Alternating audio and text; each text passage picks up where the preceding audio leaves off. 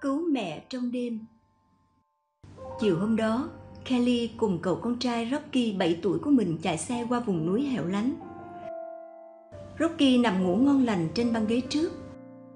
Hai chân đặt hẳn trong lòng mẹ. Khi rẽ vào một chiếc cầu nhỏ, chiếc xe bỗng va vào một tảng đá lớn giữa đường. Chiếc xe trượt nhanh rồi lao xuống một vũng lầy. Sợ rằng chiếc xe sẽ lật nhào kelly lập tức nhấn mạnh ga và quay vô lăng sang trái nhưng lúc đó bàn chân của Rocky đang kẹt giữa chân cô và vô lăng khiến cô mất phương hướng và không thể điều khiển chiếc xe. Không, không thể được. Chiếc xe lật ngang rồi lăn xuống một khe núi sâu khoảng 400 mét.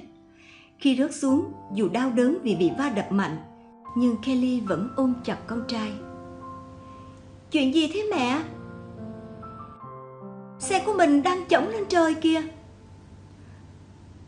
Rocky, không. Mẹ ơi, mẹ tỉnh lại đi. Như một sự diệu kỳ, cậu bé không hề bị một vết trầy xước nào. Cậu trượt xuống sàn xe, bò ra phía cánh cửa đã vỡ nát. Tỉnh dậy đi mẹ, con sẽ kéo mẹ ra khỏi đây. Rocky, con hãy ngồi yên đó, đừng đi đâu cả nha. Không, mẹ ơi, mẹ không thể ngủ vào lúc này. Chúng ta sẽ trèo lên và chắc chắn sẽ có một ai đó giúp mẹ con mình. Nói rồi, Rocky chui ra sau xe tải, xoay sở bằng mọi cách để đưa mẹ ra ngoài. Lo sợ đứa con bé bỏng của mình sẽ bị lạc trong bóng tối, Kelly gắn gượng lết theo con. Hai mẹ con kẻ trước người sau, khó nhọc trường lên sườn dốc. Rocky với tấm thân bé nhỏ chưa tới 20 kg đã dìu người mẹ nặng đến 50 kg của mình nhích từng chút một. Mẹ ơi, mẹ ráng lên nha. Mẹ có nhớ câu chuyện mà mẹ vẫn kể cho con nghe mỗi tối không? Có một chiếc xe lửa đồ chơi bị vứt vào thùng rác với mong muốn chứng minh cho cậu chủ nhỏ thấy là mình vẫn còn hữu dụng. Nó đã vượt qua một đoạn đường dài, trải qua bao nguy hiểm để về lại với cậu chủ. Chúng ta cũng sẽ làm được mẹ à. Mình biết mình có thể, mình biết mình làm được mà. Cuối cùng thì cả hai cũng leo lên đến đường. Lúc này Rocky mới nhìn rõ những vết thương, không chỉ trên mặt mà còn trên khắp cơ thể mẹ. Cậu hòa khóc vì thương mẹ.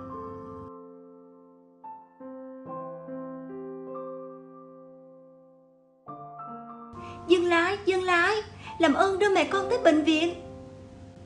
Mất hơn 8 giờ đồng hồ với 344 mũi khâu, các bác sĩ đã kịp thời cứu sống Kelly. Bây giờ, gương mặt cô trông khác xưa nhiều, nhưng với cô, điều đó không mấy quan trọng. Điều thật sự khiến cô xúc động, tự hào là sự dũng cảm phi thường của cậu con trai bé bỏng. Bằng tình thương yêu dành cho mẹ, cậu bé đã lập được một chiến tích mà không phải đứa bé 7 tuổi nào cũng có thể làm được.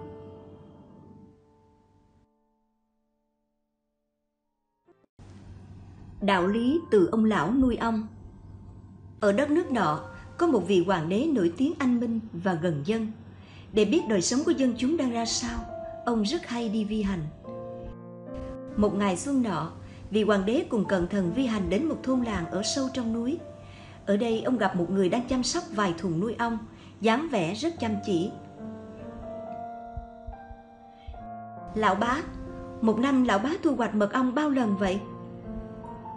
Hai mùa xuân hạ có nhiều hoa, ong hút mật dễ dàng, mỗi tháng tôi đều lấy mật. Đến mùa thu hoa ít, chỉ còn hoa cúc là nở tốt, mỗi lần tôi chỉ lấy ba phần, để lại bảy phần để cho ong làm lương thực có như thế thì ông mới có thể sống qua mùa đông. Ông có sống qua mùa đông thì sang năm sẽ đỡ vất vả. Chỉ vì thu mật, không phải xây dựng lại đàn ông. Vậy những người khác cũng nuôi ong như lão bá sao? Không phải như vậy. Có rất nhiều người khác khi nuôi ong đương lúc xuân hạ thu hoạch toàn bộ mật ong, điều này cũng bình thường, không có gì đáng nói. Nhưng đến mùa thu, họ cũng không chừa lại cho ong chút mật nào không có lương thực, làm sao mà ông có thể tồn tại qua mùa đông? Ông không chết vì đói thì cũng bỏ đi. Những người như vậy có thể trong năm sẽ thu hoạch được nhiều hơn tôi, nhưng đến sang năm lại phải tốn công xây dựng lại đàn ông từ đầu, vừa vất vả lại còn nhiều rủi ro.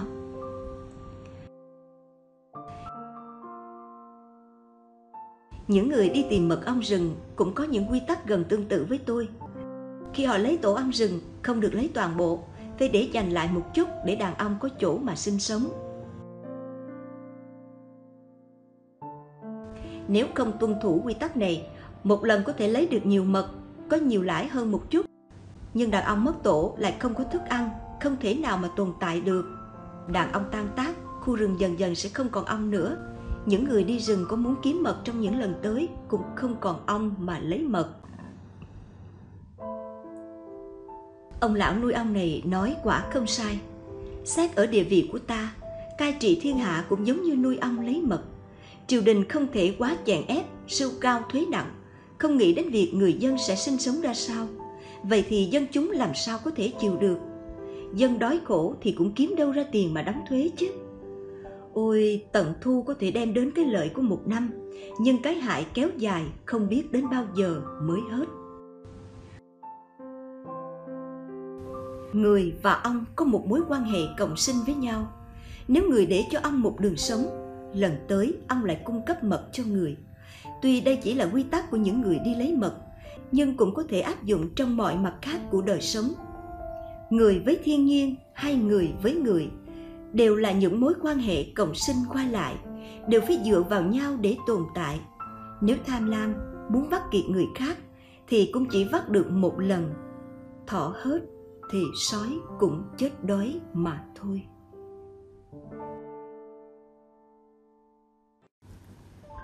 Tái hôn.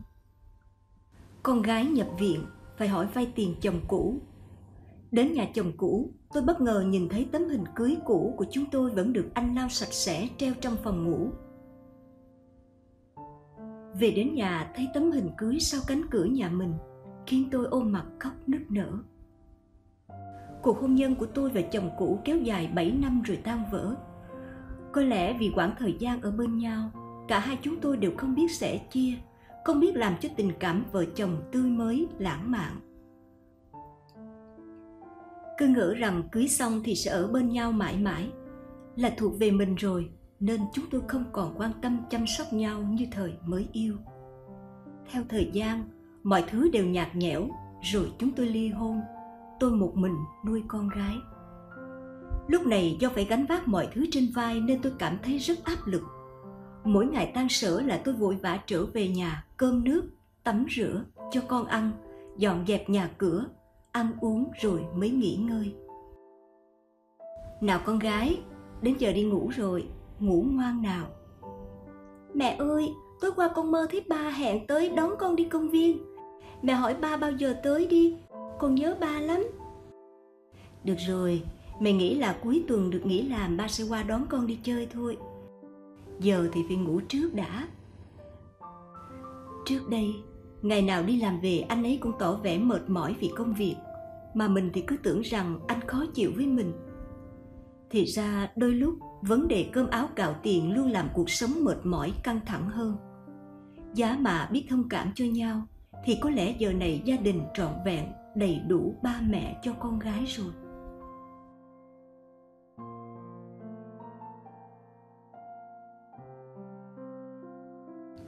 Mẹ, con thấy khó thở quá. Không ổn rồi. Chúng ta phải qua bệnh viện khám con ạ. À.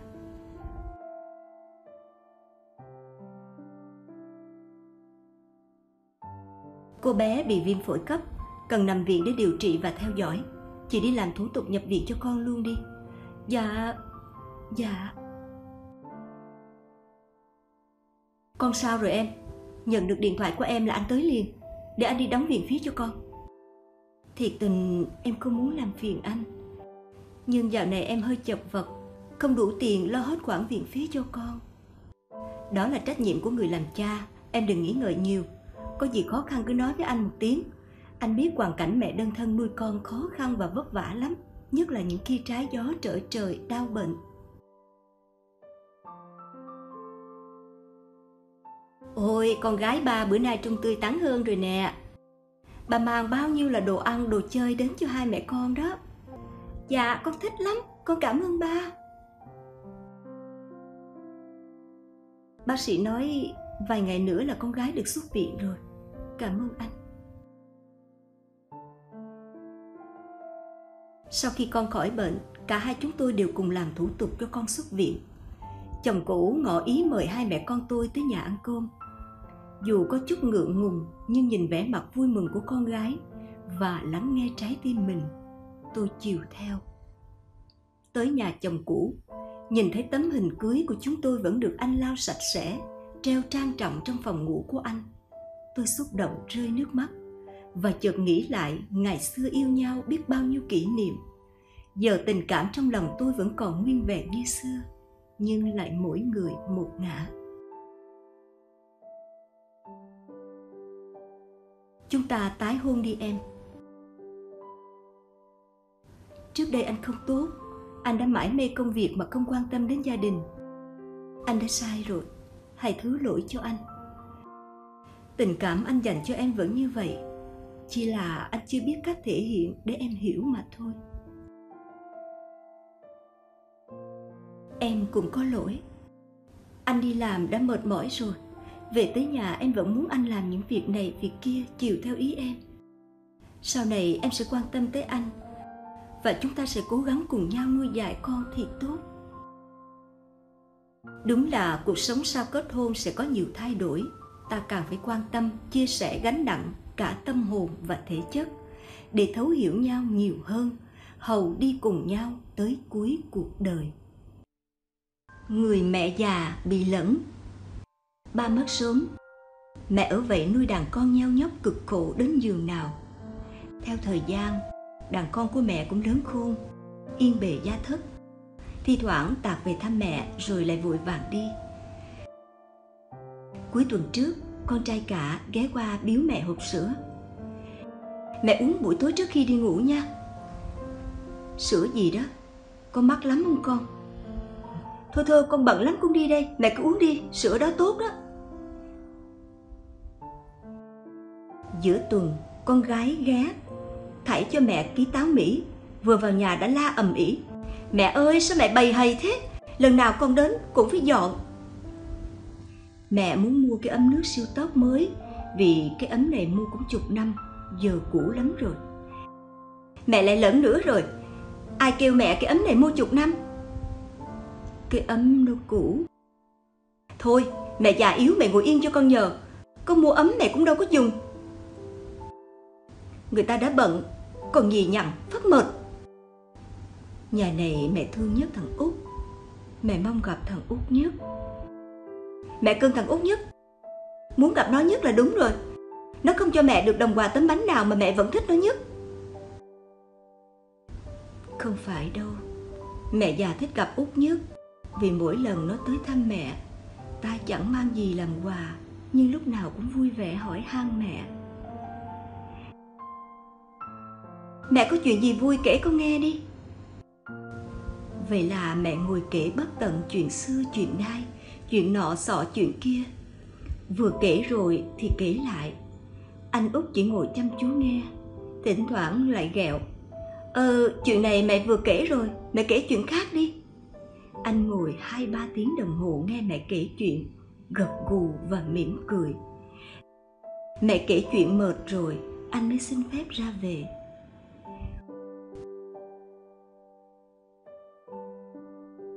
Quà của con cả, con gái chất đống. Mẹ chẳng dùng vì tuổi già sức yếu, đâu ăn uống được gì nhiều. Mẹ cũng không dám nhiều lời vì sợ con la mắng là lẩn thẩn. Mẹ chỉ thích gặp út vì món quà quý nhất của mẹ lúc này là có một người thân chịu ngồi lắng nghe và trò chuyện với mình. Rất nhiều quãng thời gian còn lại, khi vắng các con, mẹ chỉ biết ngồi nhìn bức tường trắng lặng câm vì chị giúp việc cũng quải với sự lẫn của mẹ nghe mẹ cất tiếng là chuồn mất. Thậm chí có lúc mẹ còn phải lẩm bẩm nói chuyện một mình nữa. Quà cho người già không gì quý hơn một buổi chịu ngồi xuống trò chuyện trong đón đời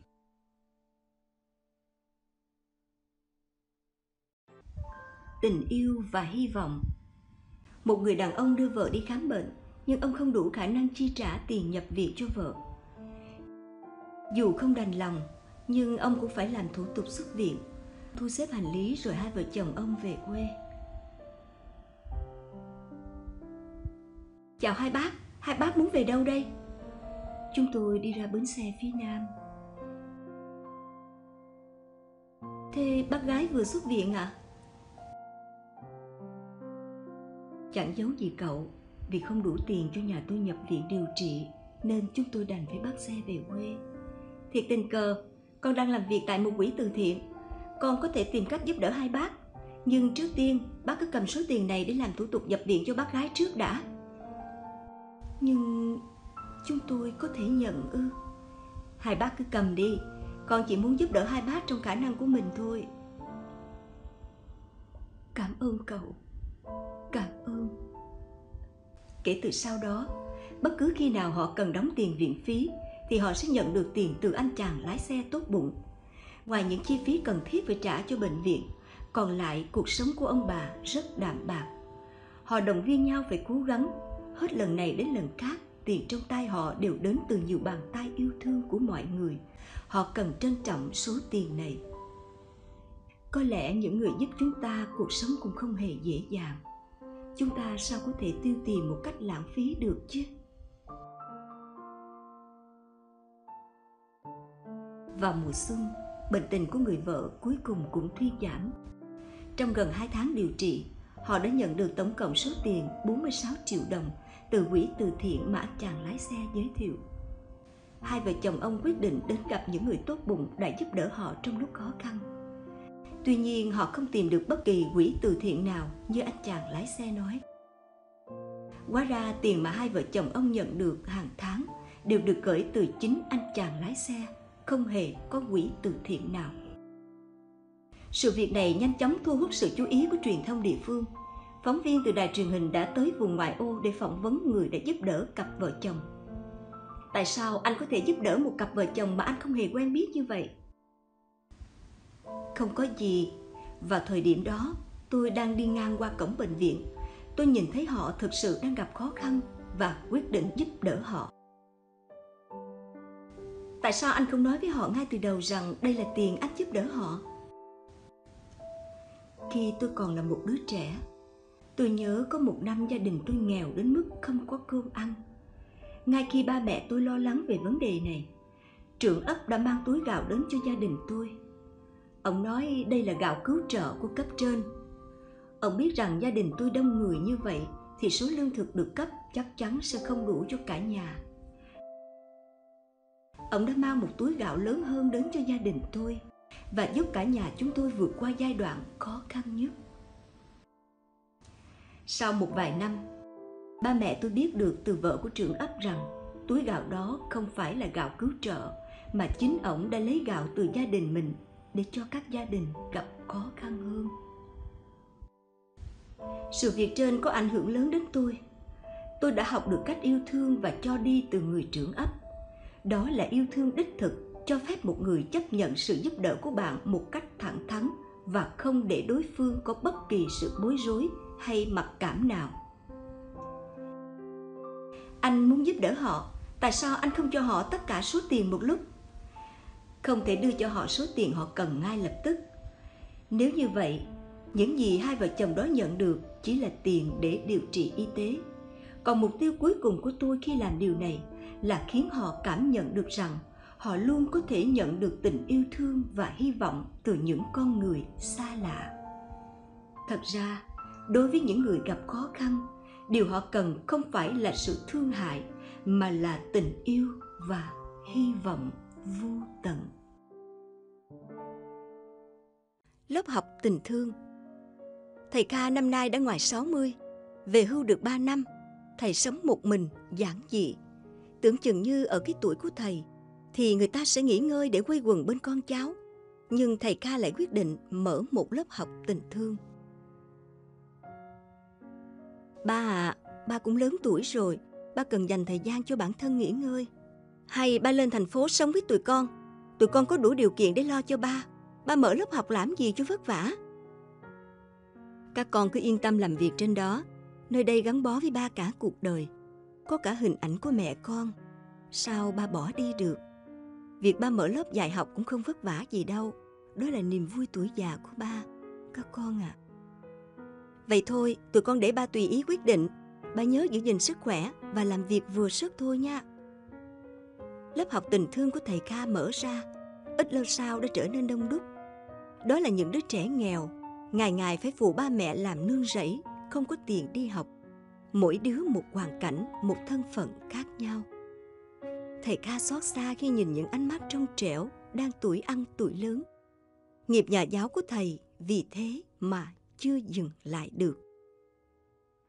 Thầy ơi, đây là ít khoai mì con mới đi mót được chiều nay. Thầy luộc ăn lấy thảo ạ. À.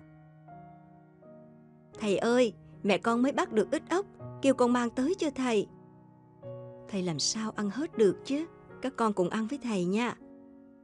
Tình thầy trò chỉ đơn sơ vậy thôi, nhưng khiến thầy ca hạnh phúc lắm. Vậy mà mấy đứa con thầy không hiểu, cứ gọi điện về bắt thầy bỏ lớp học. Thế rồi một ngày cuối năm, thầy ca đổ bệnh. Thầy ơi, thầy làm sao thế? Thầy bệnh ạ. À? Thầy chỉ bị cảm lạnh thôi. Vậy thầy phải tới trạm xá khám bệnh xem sao. Tụi con sẽ chở thầy đi.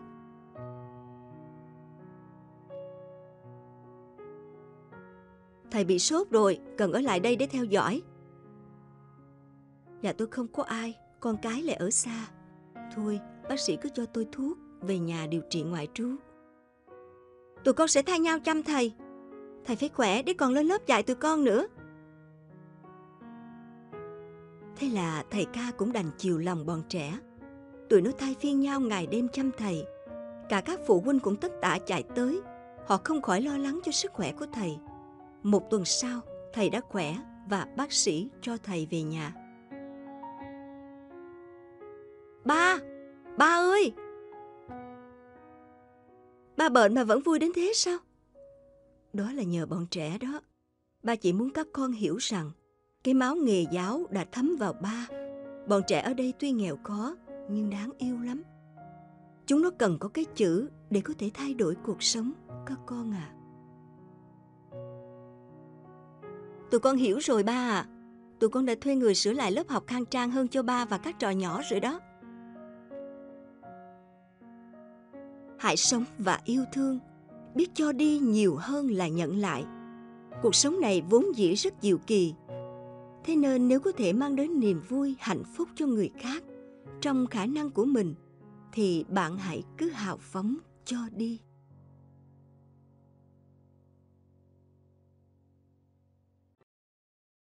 Hãy trở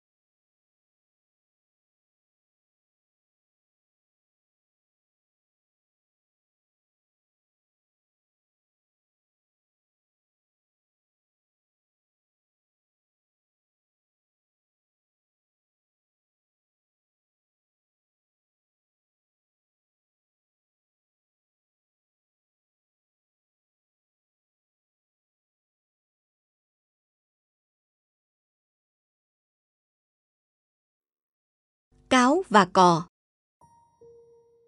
Cáo và cò cùng chung sống với nhau trong một khu rừng rậm.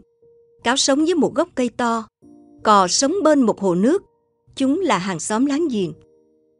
Một bữa, cò và cáo cùng đi bắt cá. Cáo làm việc rất lơ đễnh, lúc thì chạy đi bắt chuồn chuồn, lúc lại đuổi theo châu chấu. Cho đến khi trời tối, nó mới đi bắt cá. Nhưng lúc này cáo chẳng còn con cá nào nữa. Trong khi đó rổ của cò đã có một con cá to. Chị cò ơi, món canh cá tôi làm là ngon nhất. Hay chị để cá lại cho tôi, tôi làm món canh cá chúng ta cùng ăn được không? Chú cáo đáng thương chẳng bắt được con cá nào, mà cá của mình bắt được cũng rất to. Vậy mình chia sẻ với cáo vậy. Được rồi, vậy chú mang cá về nhà đi nha. Một con cá chỉ vừa đủ cho mình ăn, mình phải làm sao để cò không ăn được cá đây ta? À, mình đã có cách. Phen này thì con cá này cứ gọi là nằm nguyên trong bụng mình, không mất đi cái vẫy nào. Ui, thơm quá, cáo thiệt là khéo léo, chưa chi mà đã thấy hấp dẫn rồi. Xong rồi, xong rồi đây. Chị cò ơi, đây là món canh cá trứ danh, mời chị ăn đi, đừng khách sáo nha. Mỏ của cò vốn rất dài, sắc nhọn, làm sao có thể ăn được canh cá, đừng ở trong chiếc dĩa nông như vậy. Còn cáo thì ăn một hơi hết sạch dĩa canh cá trước mặt nó. Tại sao chị không ăn? Hay chị chê canh cá tôi nấu không ngon? Vậy để tôi giúp chị nha. Còn cáo gian xảo, nếu nó đã đối xử với mình như vậy, coi bộ mình phải dạy cho nó một bài học mới được. Vài ngày sau, Cảm ơn chú bữa trước đãi chị. Trưa nay mời chú qua nhà chị ăn cơm nha. Cảm ơn chị, tôi thiệt là tốt số khi được làm hàng xóm với chị. Mình phải tiết kiệm bữa sáng nữa, để tới trưa qua nhà cò đánh chén một bữa cho sướng miệng. Buổi trưa, cáo ôm bụng đói mò đến nhà cò. Từ xa nó đã ngửi thấy mùi thơm nước mũi, thèm nhỏ cả nước miếng. Vừa bước vào cửa, cáo đã trông thấy cò cầm một chiếc bình dài, bên trong đựng rất nhiều món ăn thiệt thơm ngon. Chú cáo à, mau ăn đi. Đây là của chị hết lòng chuẩn bị cho chú, chú đừng khách sáo nha. Chúng ta mau ăn đi ha, tôi đang đói ngấu đây.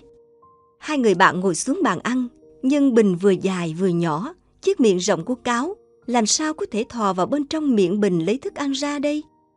Chú không thích thức ăn tôi nấu sao? Hay là chú đã ăn trước ở nhà rồi? Thiệt đáng tiếc. Chị cò, tại sao chị lại cố ý cho đồ ăn vào chiếc bình chứ? Tôi đâu có cái mỏ dài như chị để lấy đồ ăn. Ôi, cuối cùng thì chú cũng hiểu ra vấn đề rồi. Thế chú còn nhớ tôi đã ra về với cái bụng đói sau bữa tối tại nhà chú bữa trước không? Bởi vì chú đã dọn lên bàn chiếc dĩa không thích hợp cho tôi đó. Tôi... tôi xin lỗi. Từ giờ tôi sẽ không ích kỷ và xấu tính như vậy nữa. Được rồi, ít ra là giờ chú đã hiểu được tôi. Chúng ta phải học cách tôn trọng những khác biệt của nhau, chú Cáo ạ. À. Bây giờ mời chú thưởng thức bữa trưa. Tại sao chị không đối xử với tôi như tôi đã làm với chị? Ăn miếng trả miếng là việc chỉ có kẻ thù mới làm với nhau. Còn chúng ta là bạn mà. Các bạn ạ, à, giữa bạn bè thì nên quý mến và dùng sự chân tình, trân trọng để đối đãi với họ. Tôn trọng người khác là cách giúp chính bản thân mình nhận được sự yêu mến và tôn trọng từ người khác. Khiến con không biết lượng sức mình. Cuộc thi Thế vận hội thể thao dành cho các loài động vật được tổ chức thường niên sắp diễn ra trong rừng. Đại vương sư tử thông báo tin này tới muôn loài. Ai nấy đều vui mừng, hăng hái tới đăng ký với trưởng ban tổ chức hổ. Thỏ đăng ký môn chạy, khỉ đăng ký môn leo trèo, còn ai nữa ta? Dạ, con đăng ký môn nhảy xa nha bác hổ. Con tham gia môn cử tạ. Mọi người ai cũng lựa chọn môn sở trường của mình, nhưng mình không giống họ. Mình sẽ đăng ký hạng mục có tính thách thức nhất để cho mọi người thấy được sức mạnh của mình. Nhưng nên chọn môn gì đấy ta? Kiến con, mọi người đều đã đăng ký xong rồi, sao cậu còn chưa đăng ký? Các môn dự thi của họ đều quá đơn giản, mình muốn đăng ký một hạng mục có thể chứng tỏ được sức mạnh của mình. Vì vậy, mình sẽ chọn môn nhảy cầu. Cậu đang nói đùa hay sao? Cậu không biết bơi, sao có thể đăng ký dự thi môn nhảy cầu chứ? Như thế mạo hiểm lắm. Mình khuyên cậu nên biết lượng sức mình. Tốt nhất hãy chọn môn nào thích hợp với cậu ấy. Mình chỉ muốn mọi người thấy được sức mạnh của mình. Sao cậu cứ ngăn cản vậy? Tránh ra cho mình còn kịp đi đăng ký. Tới lượt kiến con bước vào phần thi, nó phấn khích leo lên cây cầu rất cao. Nhưng khi nhìn xuống dưới, kiến con bỗng thấy qua mắt chóng mặt. Ôi, làm thế nào bây giờ? Mình cảm giác như đầu óc đang quay cuồng khi đứng ở độ cao này. Nếu mà nhảy xuống dưới sông, liệu liệu mình có mất mạng không chứ? Nào nhảy đi, kiến con nhảy đi. Nhắm mắt lại nhảy thôi, không sao đâu mà. Nhất định mình sẽ làm được. Không biết cậu ấy có dám nhảy không nữa, mình đã dặn dò là rất nguy hiểm, đúng là liều thiệt.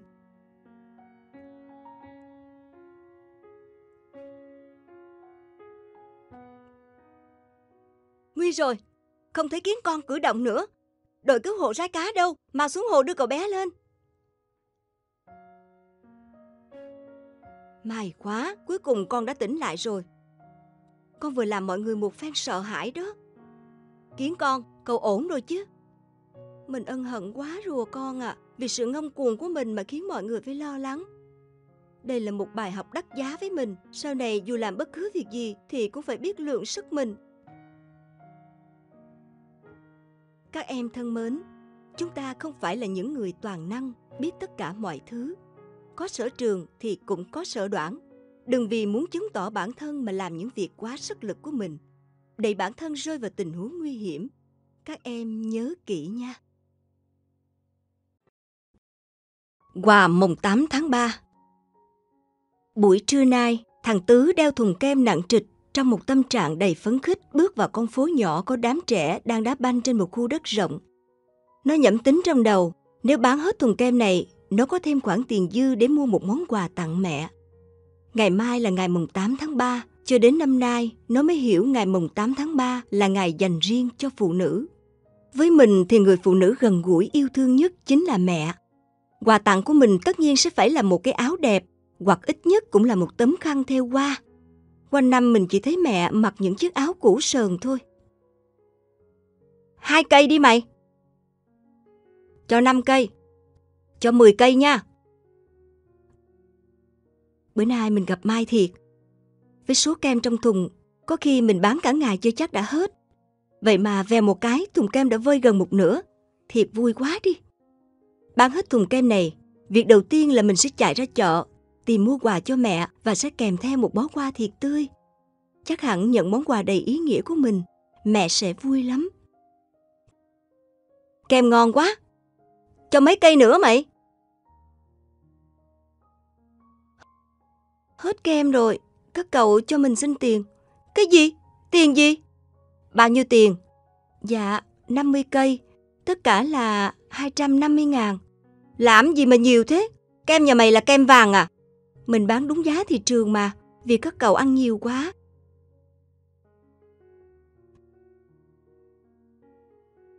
Nè, ngu vừa thôi con à. Một mình mày mà đòi đấu cả một bầy như tụi tao sao?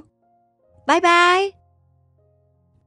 Trời ơi, thế là bao nhiêu vốn liếng mất hết rồi. Tiền đâu để mua quà cho mẹ nữa. Còn có 8 ngàn ít ỏi, có lẽ chỉ còn đủ mua một bông hoa thôi.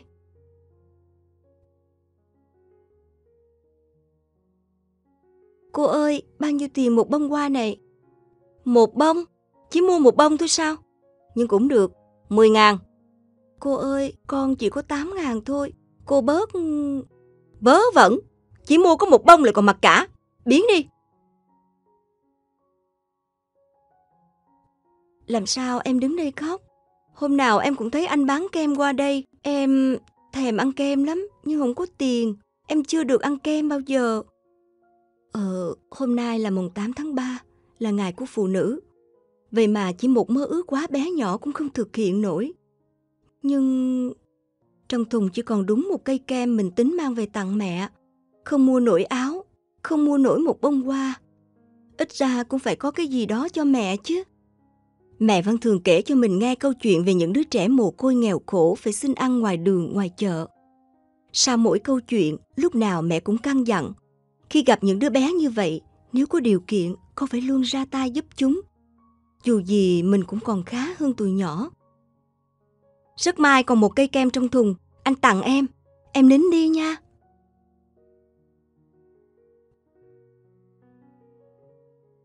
Thế là không còn gì dành cho mẹ. Con làm sao thế? Bữa nay kem bị ế hả? Trưa nay con cứ tưởng là bán được hết cả thùng kem cho tụi nhóc đá banh. Hổng về bị tụi nó gạt, ăn xong rồi bỏ chạy mất. Vậy là con đã không thể mua được một món quà tặng mẹ vào ngày mùng 8 tháng 3. Rồi chiếc kem cuối cùng con cũng đem tặng con bé tội nghiệp ngoài đường. Không đâu con ạ. À. Bữa nay con đã tặng mẹ một món quà quý giá nhất trên đời. Món quà ấy đã làm mẹ thấy hạnh phúc hơn mọi món quà bằng vật chất. Con có hiểu không? Con trai của mẹ đã lớn rồi, biết chia sẻ với những hoàn cảnh bất hạnh như lời mẹ vẫn từng dặn dò. Vâng, con hiểu, nhưng nhất định ngày 8 tháng 3 năm sau sẽ phải khác ạ. À. Mèo con học gáy Ngày xưa ngày xưa, trong một trang trại rộng lớn có các con vật sống chung với nhau. Một bữa trời vừa sáng, một chú gà trống nhảy lên đống rơm với đôi chân cứng cáp. Nó hướng cổ lên bầu trời và cất cao tiếng gáy mạnh mẽ và vang vọng, truyền đi khắp cả nông trại. Một chú mèo con đang nằm ngủ cách đó không xa, bị giật mình tỉnh dậy. Ôi anh gà trống, trông thật oai phong làm sao. Tiếng gáy vang như muốn rung chuyển cả trời đất, trông như một thủ lĩnh thực thụ vậy. Mình cũng muốn trở thành gà trống, để được mọi người ngưỡng mộ và tôn trọng. Đúng là mắc cười. Cậu có biết gáy không mà đòi làm gà trống chứ? không phải chỉ là gáy thôi sao? Mình sẽ học gáy giống anh gà trống để tất cả mọi người trong trang trại đều ngưỡng mộ mình. Thế là mèo con liền đi tìm anh gà trống, bắt đầu hành trình học gáy của mình. Anh gà trống ơi, em rất ngưỡng mộ tiếng gáy của anh. Anh có thể dạy em gáy giống như anh không? Chú mày muốn học gáy à? Được thôi. Đầu tiên muốn gáy được thì phải lấy một hơi thiệt là sâu. Sau đó vươn cổ thiệt dài ra phía trước và gáy lớn. Tưởng gì chứ, dễ ợt. Em làm được ạ. À. Không phải như vậy, chú phải nhướng cổ cao nửa lên. Khi gáy thì phải lấy hơi thiệt sâu. Mèo con rất cố gắng, nó tập hàng giờ liền, nhưng tiếng gáy lạ lùng của nó vẫn không thể thu hút sự chú ý của những con vật trong nông trại. Có lẽ mình phải đi tìm bác gà trống để học gáy thôi. Bác có nhiều kinh nghiệm hơn anh gà trống, chắc có thể dạy mình trở thành một chú gà trống thực thụ. Dưới bụi tre già cỗi, gà trống già đang đào đất bắt những con dung to mập Mèo con ở bên cạnh ra sức học gáy. Chú luyện đi luyện lại mà vẫn không thể phát ra âm thanh giống như tiếng gà trống gáy. Phải thở bằng bụng chứ không phải bằng cổ.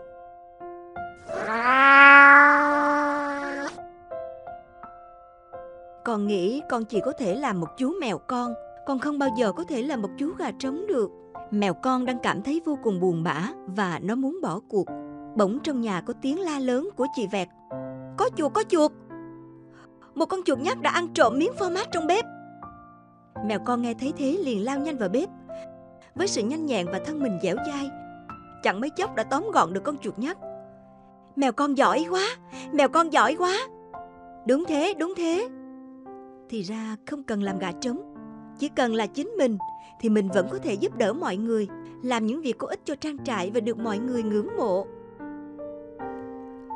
Mỗi người sinh ra đều có đặc điểm riêng, sứ mệnh riêng. Sở trường của người này không hẳn là sở trường của người khác. Chúng ta không nên nhòm ngó cuộc sống của người khác hoặc cố gắng trở thành ai đó. Hãy cứ sống là chính mình, cố gắng hoàn thiện bản thân và vươn lên phía trước. Bạn sẽ đạt được những thành quả xứng đáng.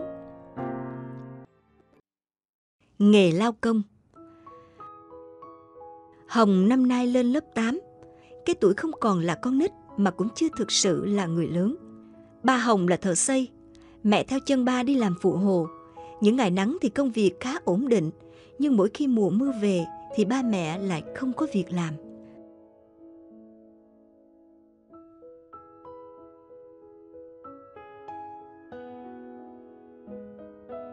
Con chào ba, con đi học mới về.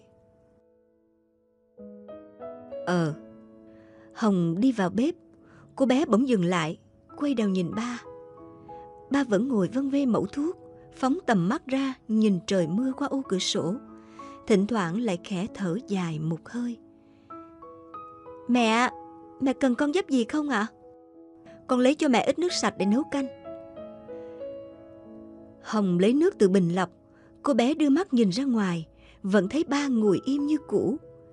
Tàn thuốc trong tay ba vẫn không ngừng cháy. Sao nhìn ba có vẻ buồn thế mẹ? Trời cứ mưa hoài không chịu tạnh, ba con không đi làm được, nên sốt ruột đó. Bà mẹ vất vả cả năm rồi, nghỉ vài ngày cũng đâu có sao. Nghỉ ngày nào là không có tiền ngày ấy, sắp tới nhà mình còn phải chi trả nhiều thứ, không làm được thì lấy tiền đâu ra mà mua bán tiêu pha hả con?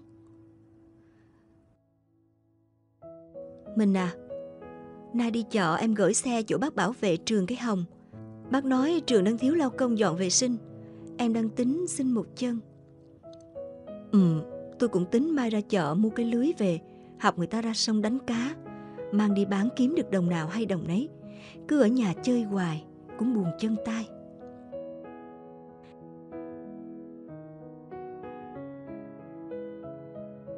Mẹ ơi, mẹ có nhất thiết là phải tới trường con làm lao công không? Ý con là sao? Tại sao con lại hỏi vậy? Dự báo thời tiết nói chứ còn mưa có mấy ngày nữa thôi là tạnh rồi. Mẹ đâu cần phải đi dọn vệ sinh chứ. Sắp tới tiền học của con, tiền điện nước hàng tháng, tiền ăn uống hàng ngày. Không làm thì lấy đâu để bù vào. Nhưng mẹ có thể tìm chỗ khác mà. Con lại làm sao nữa vậy Hồng? Mẹ làm lao công trong trường khiến con bị ảnh hưởng sao? Dạ đúng vậy. Nó ảnh hưởng tới con. Các bạn sẽ chỉ trỏ, cười cợt con là có mẹ làm lao công. Con thấy xấu hổ lắm. Mẹ luôn vậy. Mẹ chẳng bao giờ nghĩ cho cảm xúc của con cả.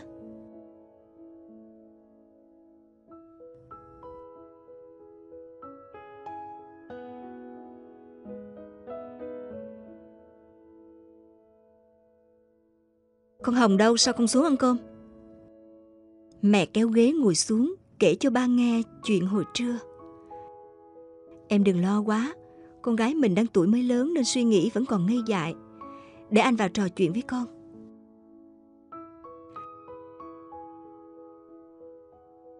Sao tới giờ cơm rồi mà con gái ba không xuống ăn? Dạ, con không đói.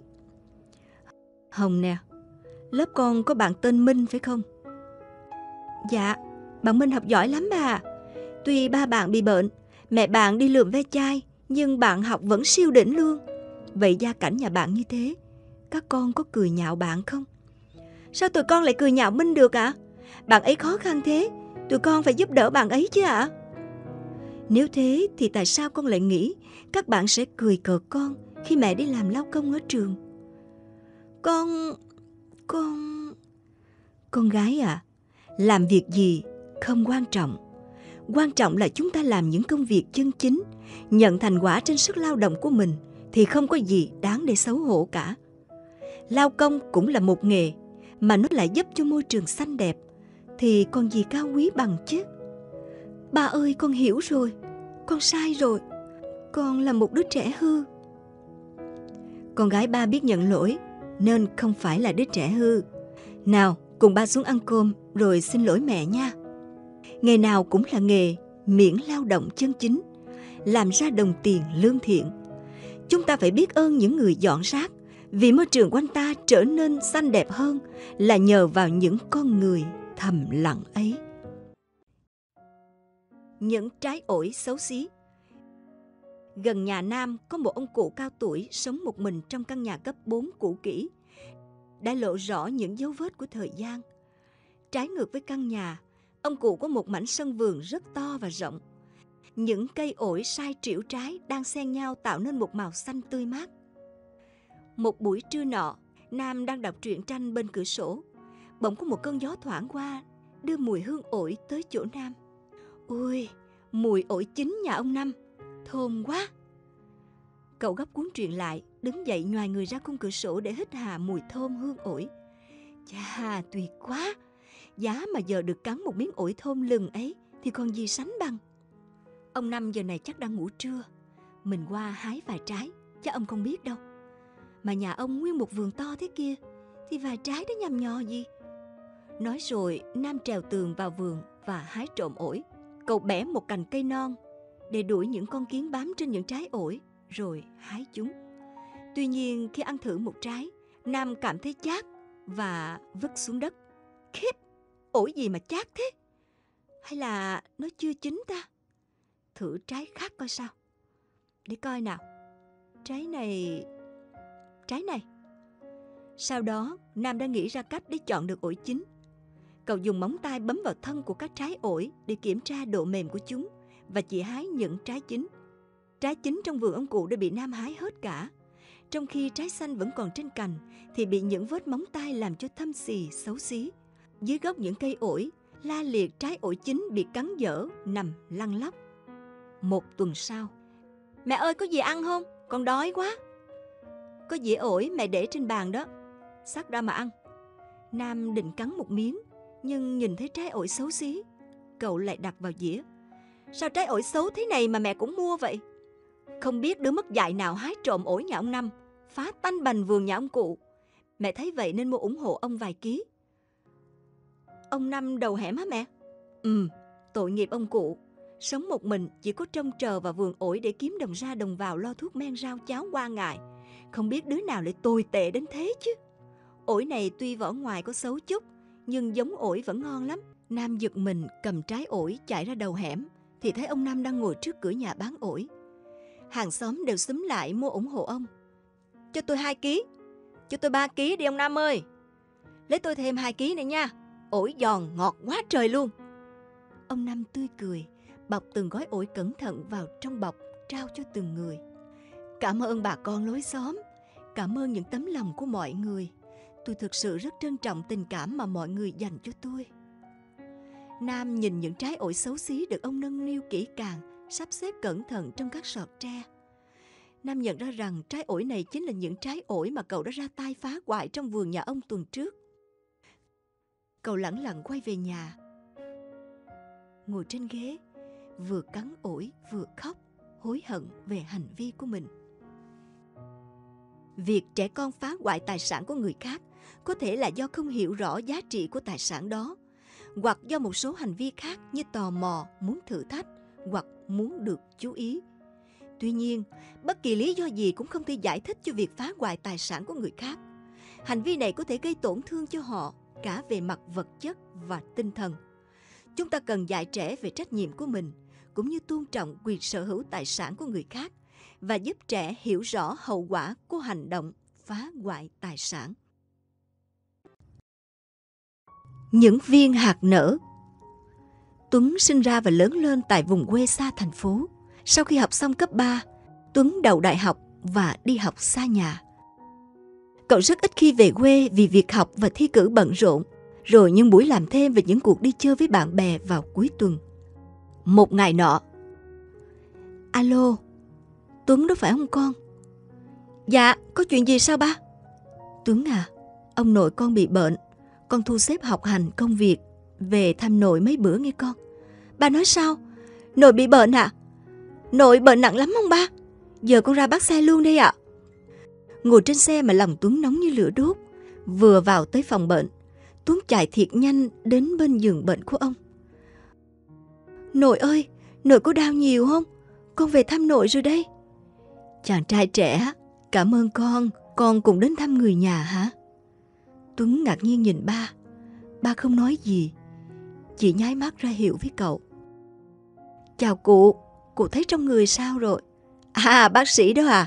Tôi khỏe, khỏe lắm rồi. Vậy bữa nay con cho cụ xuất viện nha. Cụ vui không? Vui chứ. Tôi còn phải về nhà chơi với thằng Tủn nhà tôi. Tôi đi lâu, chắc nó nhớ tôi lắm rồi. Ông nội Tuấn đã lẫn từ lâu, lúc nhớ lúc quên. Tuấn rất buồn vì ông không còn nhận ra Tuấn. Có thể là do lúc lớn, cậu không thường xuyên ở nhà, nên ông không nhớ ra cậu. Sáng hôm sau, trời vẫn còn sớm mà nội. Nội ra ngoài lại bị nhiễm lạnh thôi. Nội nghỉ ngơi thêm chút nữa, rồi lát hãy ra. Ông nội dường như không nghe thấy Tuấn nói chuyện. Ông lững thững đi ra ban công, tay bê bình hạt nở và đổ ra chậu rửa từng hạt, từng hạt. Tuấn nhìn mãi mới nhận ra đó là lọ hạt nở mà ngày nhỏ cậu rất thích chơi. Không ngờ ông nội vẫn còn giữ đến tận bây giờ. Ông tuy lẫn, lúc nhớ lúc quên, nhưng ngày nào cũng nhớ thay nước cho đám hạt nở của con. Không quên một ngày nào. Thằng Tuấn thích đám hạt nở này nhất. Tuấn thấy vậy thì chảy nước mắt. Cậu đi lại chỗ ông, ngồi cạnh và rửa cùng ông. Bé Tuấn thích những viên nở này lắm hả nội? Ờ, thằng Tuấn nhà ông thích nhất những viên nở này. Mỗi lần trước khi đi học, nó lại dặn đi dặn lại là nội phải nhớ thay nước cho nó, không được để những viên nở bị cạn nước. Cậu bé thiệt dễ thương ông ha. Cái thằng nhóc đó, về mà nó thấy viên nở bị cạn nước là là giận dỗi ông cả ngày trời đó. Bỗng ông đưa tay lên nhìn chiếc đồng hồ tự vẽ. Thôi chết, đã tới chiều rồi à. Nào chàng trai trẻ, đặt giùm ông cái chậu nở này lên bệ kia. Nhanh nhanh, kẻo thằng Tuấn nhà ông nó sắp đi học về rồi. Nó giận dỗi lại không thèm nói chuyện với ông nữa đâu. Nội cứ từ từ thôi, giờ mới sáng.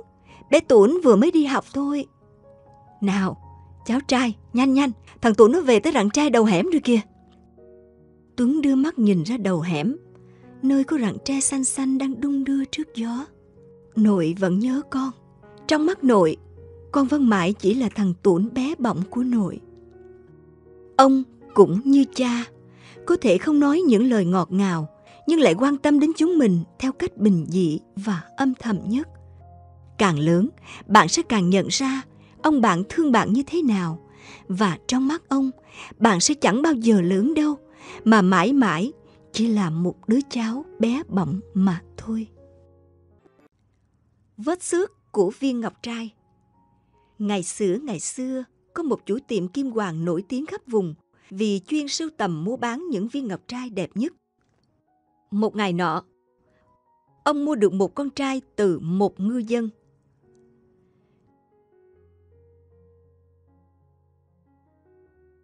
Trời ơi, là một viên ngọc trai đen. Trông nó thật tuyệt. Đây có lẽ là viên ngọc trai hoàn hảo nhất mà mình từng thấy.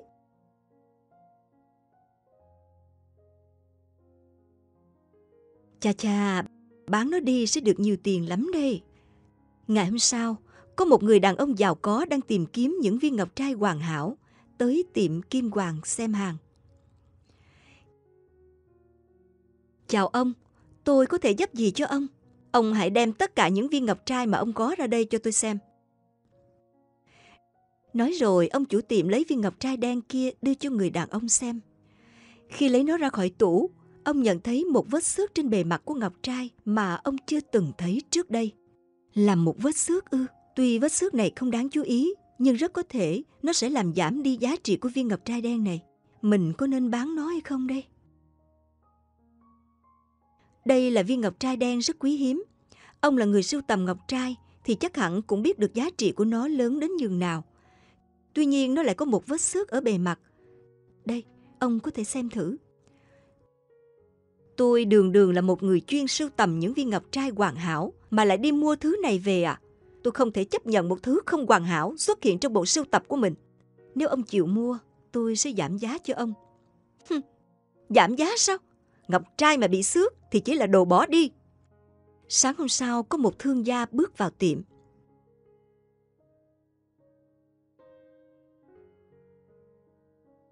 Đây quả là một viên ngọc trai đen vô cùng quý hiếm. Tôi có thể xem nó được không? Được, tất nhiên là được. Viên ngọc trai này rất đẹp. Tôi sẽ mua nó với giá 10 quan. Ông bán cho tôi chứ. 10 quan tiền ư? Số tiền này quá lớn. Ông ấy không nhìn ra vết xước. Nếu biết ông ấy có còn muốn mua nó nữa không? Mình có nên nói cho ông ấy biết không?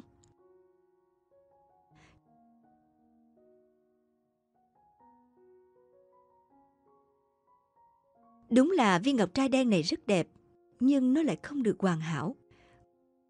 Ông nói như vậy là có ý gì? Ông nhìn coi. Trên bề mặt của viên ngọc trai có vết xước nhỏ. trước ông đã có người từ chối không mua vì vết xước này. Với tôi, đây là viên ngọc trai đen giá trị nhất vì nó mang trên mình vết xước rất tự nhiên. Không những thế, tôi còn nhận thêm được một thứ có giá trị hơn rất nhiều.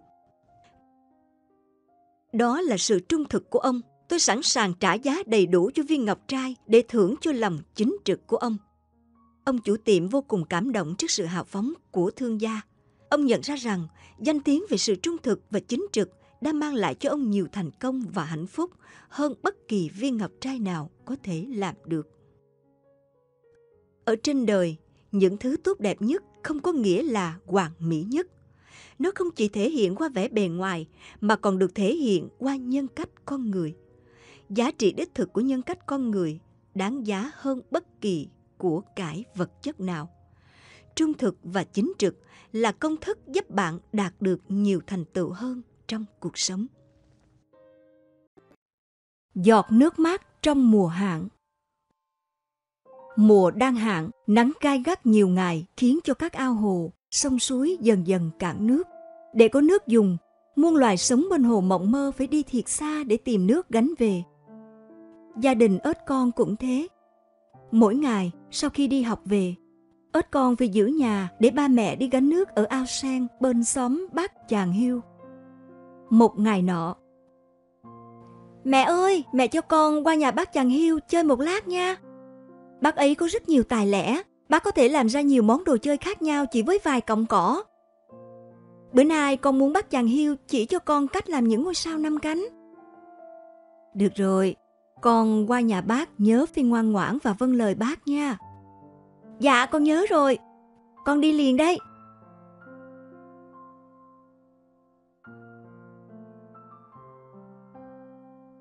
Bác chàng hiu ơi, con ếch qua chơi với bác nè.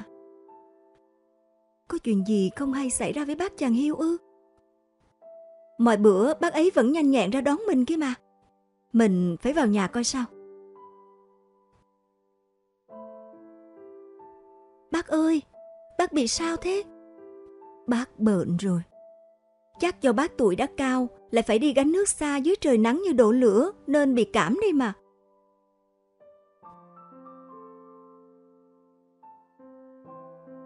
Bác hết nước dùng rồi. Thôi bác cứ nằm nghỉ đi. Con gánh nước giúp bác nha. Ếch con ngoan quá. Bác cảm ơn con. Vừa nghe bác chàng hiu cảm ơn mình xong, ếch con vội vã lao ra ngoài đi gánh nước. Con không quên lấy lá sen làm nón để khỏi bị cảm nắng. Với sức trẻ, ếch con không cảm thấy công việc gánh nước quá mệt nhọc với mình. Trời nắng to quá, đất đai nước nẻ hết cả rồi mình cần phải bước cẩn thận, kẻo lọt chân xuống kẻ đất. Khi đó nước sẽ văng hết ra ngoài, thế thì tiếc lắm. Ếch còn giỏi quá, nếu không có con, chắc bác chết vì khác rồi. Dạ, con đâu có giỏi gì đâu bác. Con giỏi mà, để thưởng cho con, ngày mai khi bác đỡ bệnh, bác sẽ chỉ cho con làm những ngôi sao thiệt đẹp, con chịu không? Vậy hả bác? Con cảm ơn bác thiệt nhiều ạ. À. Có gì đâu, vì con là giọt nước mát của xóm này nên bác sẵn sàng chỉ cho con. Sao bác ấy nói mình là giọt nước mát ta? Nghe hay quá, bây giờ mình sẽ về nhà nhờ ba mẹ giải thích cho mình hiểu điều này trước khi khoe với cả nhà việc làm tốt hôm nay của mình. Dù nhỏ tuổi, nhưng ít con đã làm được một việc ý nghĩa, mang lại sự ấm áp, niềm vui cho bác chàng hiu cao tuổi. Hành động đó thiệt đáng khen phải không nào? Sống trong cuộc sống này, mỗi người chúng ta cần phải biết quan tâm, giúp đỡ những người xung quanh, từ những việc nhỏ nhặt nhất, các em nhé. Ai cũng có ước mơ. Quang mới 10 tuổi thôi, nhưng đã phải tự kiếm tiền để nuôi sống gia đình. Sáng đi học, tối về nó lang thang khắp các con hẻm nhỏ cùng với thúng đầu phộng luộc, mong đắp đổi bữa cơm và con chữ. Cuộc sống nghèo nàn khiến mẹ bỏ ba đi, một mình ba tầng tảo đạp xích lô nuôi hai anh em nó lớn khôn. Ba, hay là con nghỉ học rồi đi làm phụ ba nha. Nhà mình khó khăn, nếu cả hai anh em cùng đi học thì không được đâu ạ. À. Con không được nghĩ như vậy, phải có cái chữ để thành người con à. Mỗi lần nhìn thấy ba ốm yếu gầy gò theo từng vòng xe xích lô, mình thấy thì có lỗi. Ba ơi, nhất định con phải quyết tâm học thiệt tốt để sau này lớn có thể lo cho ba và em. Bữa nay các con hãy chia sẻ ước mơ của mình nha. Nào Mai Anh. Thưa cô, con muốn làm bác sĩ ạ. À? Dạ, con muốn làm nhà khoa học. Con muốn làm công an. Dạ, ước mơ của con là ba con không phải đạp xích lô nữa ạ. À. Thế mà cũng gọi là ước mơ à? Con là một người con hiếu thảo. Cuộc sống luôn đặt ra cho chúng ta những thử thách. Với nghị lực của mình, cô tin con sẽ vượt lên khó khăn. Cả lớp trật tự. Cô rất buồn vì thái độ của cả lớp. Tại sao đó không phải là ước mơ? Với cô, đó là một ước mơ rất chính đáng, rất đẹp. Qua đây cô mong lớp mình hãy cùng nhau đoàn kết, giúp đỡ bạn vượt qua khó khăn để đến trường nha. Con chào cô. Sao con đi bán về muộn thế? Cô ghé thăm gia đình và cố đợi con về.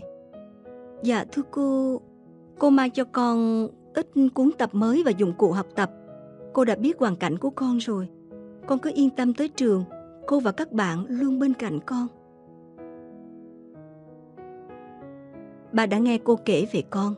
Ba còn khỏe, ba còn lo được cho hai anh em con. Điều ba mong nhất là con sẽ học hành thiệt tốt. Con không được vì khó khăn mà bỏ cuộc nha. 20 năm sau. Tại sao tôi đã chuyển tiền? Có giấy ký nhận rồi mà người nhà vẫn chưa nhận được. Dạ thưa cô, cô cho phòng giao dịch có thời gian kiểm tra lại nha cô. Chắc có sơ suất gì ở đây ạ? À? Bình thường tôi chỉ cần chuyển trong ngày là nhận được. Nay đã ba ngày mà vẫn chưa nhận được. Ngân hàng không thể để khách chờ đợi lâu như thế. Có chuyện gì về em? Dạ thưa anh, có một sơ suất nhỏ trong giao dịch với khách hàng, chưa giải quyết ngay được ạ. À? Dạ, con chào cô. Ủa, Quang phải không? Con làm gì ở đây vậy? Dạ, con làm việc tại ngân hàng này. Con sẽ kêu các bạn giải quyết nhanh cho cô. Cô vào phòng con đợi một chút nha cô. Cô không ngờ học trò nhỏ của cô năm nào lại giỏi như vậy. Con cảm ơn cô rất nhiều. Nhờ có lời động viên của cô ngày xưa mà con đã nỗ lực thực hiện ước mơ của mình cô ạ. À. Cô mừng cho con và cũng rất tự hào về con. Sự bình yên Trước khi kết thúc buổi học vẽ tranh ngày hôm đó, cô giáo nói với cả lớp. Trước khi các con về, cô sẽ ra một đề bài. Các con về suy nghĩ và vẽ, rồi tuần sau nộp bài cho cô nha. Em hãy vẽ một bức tranh tả về sự bình yên. Biết làm thế nào đây ta? Liệu đó có phải là biển cả bao la? Là bầu trời cao xanh với những cánh chim tự do bay lượn? Nhưng tất cả những điều lớn lao của cuộc sống mà mình nghĩ tới đã bình yên chưa? Khó ghê ta. Được rồi, mình sẽ để ý kỹ hơn mọi thứ xung quanh để làm tốt đề bài cô giao. Mẹ, con mời mẹ uống nước cho mát. Ờ, mẹ cảm ơn con.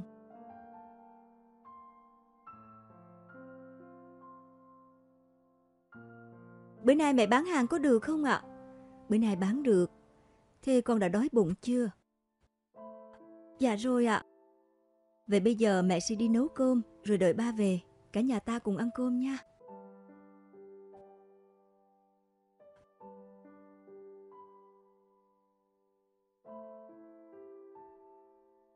Bàn tay ba đã chai sần, làn da rám nắng vì những ngày tháng trên công trường. Mùi quần áo của ba còn nồng mùi vôi nữa kìa. Sao bữa nay con gái nhìn ba dữ vậy ta? Con nhìn để tìm sự bình yên của ba. Ồ, chẳng phải ba đang rất bình yên sao? Nhưng ngày nào đi làm về ba cũng rất mệt. Việc ba mệt mỏi và bình yên là hai điều hoàn toàn khác nhau con gái ạ. À. Ba mẹ đều là người lao động bình thường, kinh tế cũng chỉ tạm đủ sống. Mỗi ngày ba mẹ phải lo rất nhiều thứ, nào là tiền ăn, tiền thuê nhà, tiền lo cho mình đi học. Chừng đó cũng khiến ba mẹ mệt mỏi rồi. Vậy thì bình yên ở đâu chứ?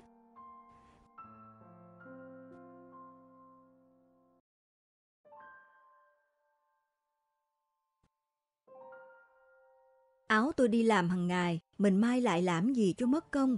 Trời, bà nó ra ngoài cũng phải tươm tất chứ. Ai lại mặc áo rách ra đường, người ta không cười mình mà cười tôi đó. Hóa ra đây chính là sự bình yên mà mình vẫn tìm kiếm.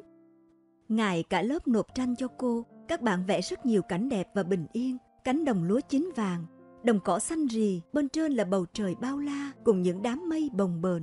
Cô xem qua tất cả những bức tranh ấy và chăm chú ngắm nhìn bức tranh của Hân. Tại sao con lại vẽ bức tranh này? Dạ, vì con thấy rất bình yên khi nhìn vào nó ạ. À. Có lẽ khi nhìn vào bức tranh này, mỗi chúng ta đều cảm nhận thấy sự bình yên, ấm áp, hạnh phúc của một mái ấm gia đình, tuy mọi thứ đều giản dị, đơn sơ. Bạn Hân đã cho chúng ta thấy sự bình yên không ở đâu xa xôi cả, mà ở rất gần chúng ta. Sự bình yên không có nghĩa là một nơi không có tiếng ồn ào, không khó khăn, không cực nhọc. Bình yên có nghĩa là ngay chính khi đang ở trong những cực nhọc ấy, ta vẫn cảm thấy sự bình yên và hạnh phúc trong trái tim mình.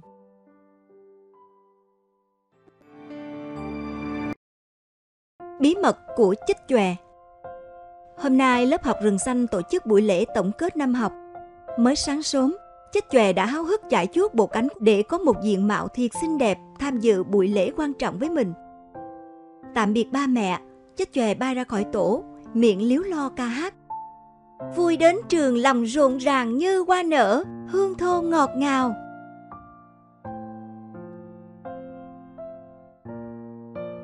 Sáu nè, bữa nay mình được đi nhận thưởng đó nha. Cô giáo nói mình là một trong 10 bạn học giỏi nhất lớp. Sao thấy mình có giỏi không? Ờ, ừ, chết chòe giỏi thiệt đó. À, mà Sáu có được lãnh thưởng không? Mình mình... Thôi, dù gì Sáu cũng nên tranh thủ thay bộ cánh mới trước khi tới trường đi. Trông nó hơi dơ đó. Bây giờ mình phải tới trường thiệt nhanh. Hồi hộp quá.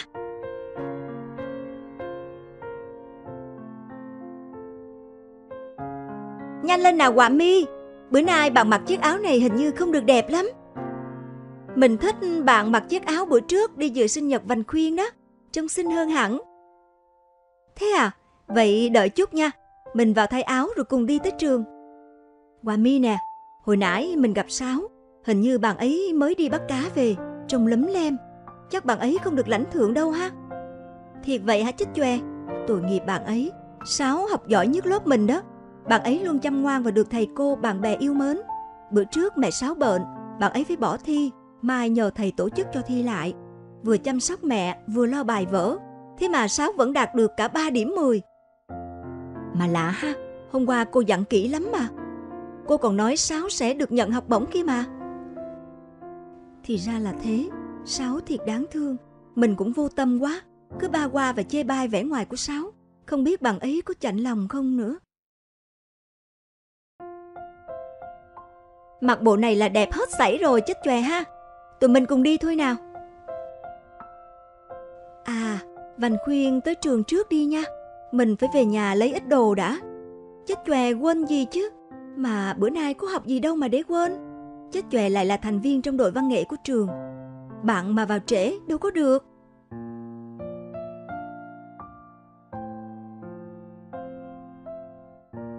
Chết chòe đi đâu ta? Có chuyện gì xảy ra với bạn ấy sao? Tiếp theo chương trình sẽ là phần biểu diễn của Chết chòe. Xin mời Chết chòe chuẩn bị và bước ra sân khấu. Xin mời chết chòe.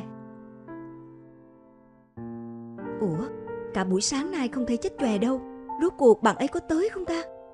Con xin lỗi cô, mình xin lỗi các bạn. Bữa nay chết chòe muốn mang đến cho cô và các bạn một câu chuyện cảm động. Câu chuyện kể về bạn Sáu sớm mồ côi cha. Chết chòe hãy kể tiếp đi. Dạ, mẹ Sáu bị bệnh. Một mình Sáu phải chăm sóc mẹ và tự lo việc học không được đầy đủ như các bạn khác, không được ba mẹ đưa đón mỗi ngày, nhưng Sáu rất chăm ngoan, cố gắng học hành, bởi bạn ấy biết chỉ có học giỏi mới làm mẹ vui lòng. Sáng nay, khi các bạn được mặc quần áo đẹp tới lãnh thưởng, thì Sáu phải lặn lội bắt cá về nấu cháo cho mẹ. Vậy mà mình đã quá vô tâm, không tìm hiểu hoàn cảnh của Sáu, lại còn có ý giễu cợt bạn ấy. Tình cờ mình biết được hoàn cảnh của Sáu, nên kể lại cho mẹ nghe. Mẹ mình mua vội bộ quần áo mới, để Sáu kịp tới dự lễ tổng kết. Mình nghĩ Sáu là tấm gương tốt để tụi mình noi theo. Sáu giỏi quá, Sáu xứng đáng là tấm gương tốt để chúng mình noi theo. Cảm ơn chích chòe, cảm ơn cô và các bạn đã luôn khích lệ động viên Sáu. Món quà của gia đình bạn chích chòe trao tặng hôm nay khiến Sáu rất cảm động và biết ơn. Sáu hứa sẽ cố gắng giữ vững thành tích để không phụ tấm lòng của mọi người. Sự bình yên Trước khi kết thúc buổi học vẽ tranh ngày hôm đó, cô giáo nói với cả lớp. Trước khi các con về, cô sẽ ra một đề bài. Các con về suy nghĩ và vẽ, rồi tuần sau nộp bài cho cô nha. Em hãy vẽ một bức tranh tả về sự bình yên. Biết làm thế nào đây ta? Liệu đó có phải là biển cả bao la? Là bầu trời cao xanh với những cánh chim tự do bay lượn? Nhưng tất cả những điều lớn lao của cuộc sống mà mình nghĩ tới đã bình yên chưa? Khó ghê ta. Được rồi, mình sẽ để ý kỹ hơn mọi thứ xung quanh để làm tốt đề bài cô giao. Mẹ, con mời mẹ uống nước cho mát. Ờ, mẹ cảm ơn con.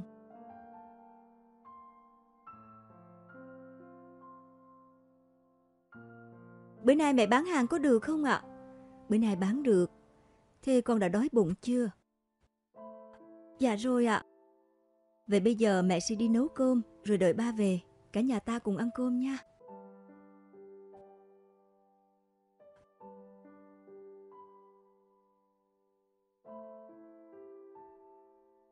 Bàn tay ba đã chai sần, làn da rám nắng vì những ngày tháng trên công trường. Mùi quần áo của ba còn nồng mùi vôi nữa kìa. Sao bữa nay con gái nhìn ba dữ vậy ta? Con nhìn để tìm sự bình yên của ba. Ồ, chẳng phải ba đang rất bình yên sao? Nhưng ngày nào đi làm về ba cũng rất mệt. Việc ba mệt mỏi và bình yên là hai điều hoàn toàn khác nhau con gái ạ. À. Ba mẹ đều là người lao động bình thường, kinh tế cũng chỉ tạm đủ sống. Mỗi ngày ba mẹ phải lo rất nhiều thứ, nào là tiền ăn, tiền thuê nhà, tiền lo cho mình đi học. Chừng đó cũng khiến ba mẹ mệt mỏi rồi. Vậy thì bình yên ở đâu chứ?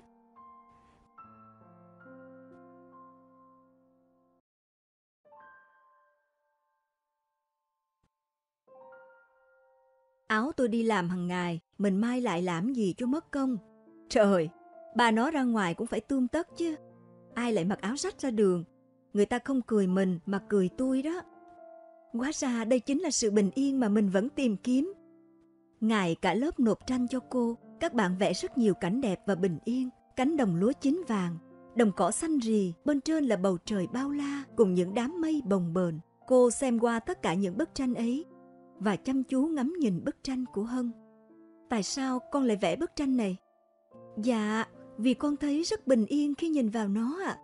Có lẽ khi nhìn vào bức tranh này, mỗi chúng ta đều cảm nhận thấy sự bình yên, ấm áp, hạnh phúc của một mái ấm gia đình, tuy mọi thứ đều giản dị, đơn sơ. Bạn Hân đã cho chúng ta thấy sự bình yên không ở đâu xa xôi cả, mà ở rất gần chúng ta. Sự bình yên không có nghĩa là một nơi không có tiếng ồn ào, không khó khăn, không cực nhọc bình yên có nghĩa là ngay chính khi đang ở trong những cực nhọc ấy ta vẫn cảm thấy sự bình yên và hạnh phúc trong trái tim mình chiếc áo ấm buổi sáng cuối tuần, trời se lạnh, gió thổi nhẹ luồn vào da thịt bé ly súng xính trong chiếc áo ấm xinh xắn mới được mẹ mua từ cuối thu ly thích lắm, kéo chiếc mũ lên đầu, trông cứ như công chúa vậy. Sao sáng giờ bạn Liên không qua chơi ta? Thế mà mình cứ đợi mãi.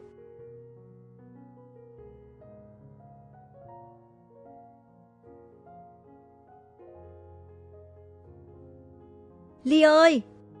Ra mẹ cho coi cái gì nè. Cái gì vậy mẹ?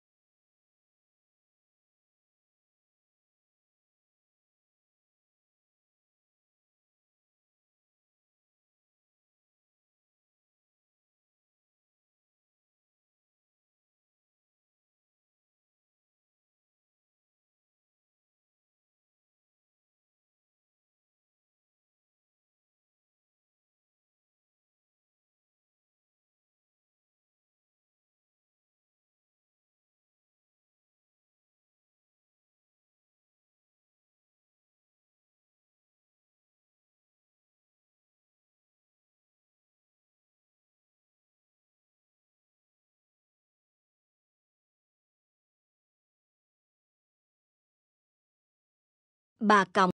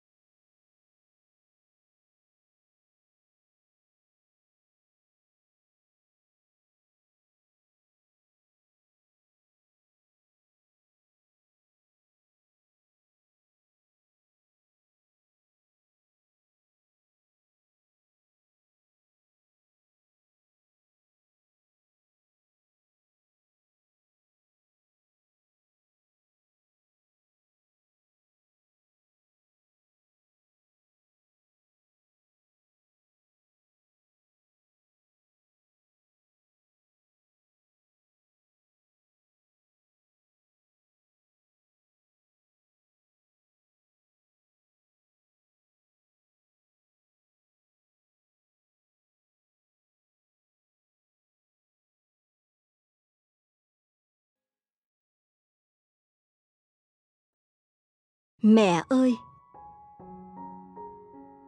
Ba mẹ Trung chia tay nhau khi Trung vừa bước vào lớp 1. Trung nghe người ta nói với nhau rằng cuộc hôn nhân của ba mẹ không có hạnh phúc nên chia tay là phải. Trung không thích mẹ mà thương ba hơn bởi mỗi lần hai người gây nhau, mẹ luôn giành phần thắng, còn ba chẳng nói câu nào.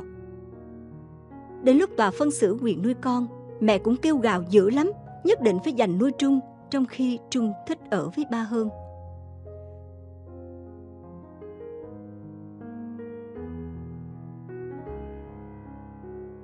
Có giấy mời họp phụ huynh ạ. À? Con có đi cùng mẹ không? Mẹ đi một mình đi. Kìa Trung, bữa nay hết hàng sớm, mẹ vào hiệu sách mua cho con cuốn truyện tranh mà con thích nè. Mẹ cứ để đó, con đang nhiều bài tập lắm, chưa đọc truyện được. Chắc mẹ nghĩ vì mẹ mà mình không còn ba bên cạnh nên muốn bù đắp chứ gì. Mẹ cứ làm như mình là con nít, không biết gì vậy. Mẹ Trung chỉ biết làm lụng từ sáng đến tối để lo cho Trung. da mẹ ngày càng tái lợt, mặc toàn những bộ quần áo cũ kỹ. Học hết cấp 2, lên cấp 3 thì Trung phải ra huyện mới có trường học. Con lên đó học hành mạnh giỏi nha.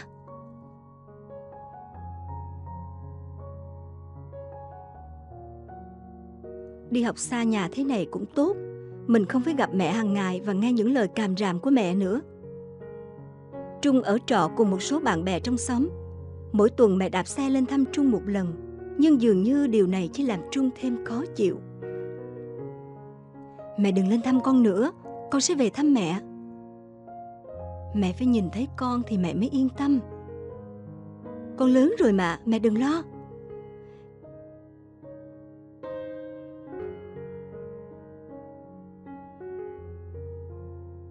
Mẹ chẳng hiểu gì mình cả. Trong khi bạn bè đều có cả ba lẫn mẹ lên thăm, còn mình thì chỉ có mỗi mẹ. Rồi ai đó hỏi ba đâu thì mình biết phải trả lời thế nào chứ. Mà mẹ cũng thiệt là lạ, cứ làm như mình còn nhỏ lắm, mà mỗi lần lên cứ đùm đề rất nhiều thứ lĩnh kỉnh. Trong khi chỉ cần cho tiền là mình tự mua được những thứ này. Mẹ đúng là lạc hậu. Từ bữa đó Trung không thấy mẹ lên thăm nữa. Mỗi tháng hai lần Trung lại nhận được quà mẹ gửi. Bốn tháng trôi qua, Trung chỉ nhận quà từ mẹ, mà không về thăm mẹ một lần. Con trai yêu quý của mẹ. Đã từ lâu mẹ biết rằng con trai mẹ đã thật khôn lớn và có thể tự lo cho bản thân mình, nhưng mà mẹ vẫn không thể yên tâm được mỗi lần mẹ gửi quà lên. Nghe người ta nói con vẫn khỏe là mẹ vui lắm. Mẹ xin lỗi vì đã sinh ra con, mà không thể cho con một mái ấm trọn vẹn nhưng con hãy hiểu cho mẹ. Mẹ không thể chia sẻ ba con cho bất kỳ ai. Nhưng mẹ còn yêu ba. Mẹ chấp nhận để ba ra đi và có hạnh phúc riêng. Bốn tháng nay con không về. Mẹ nhớ con lắm.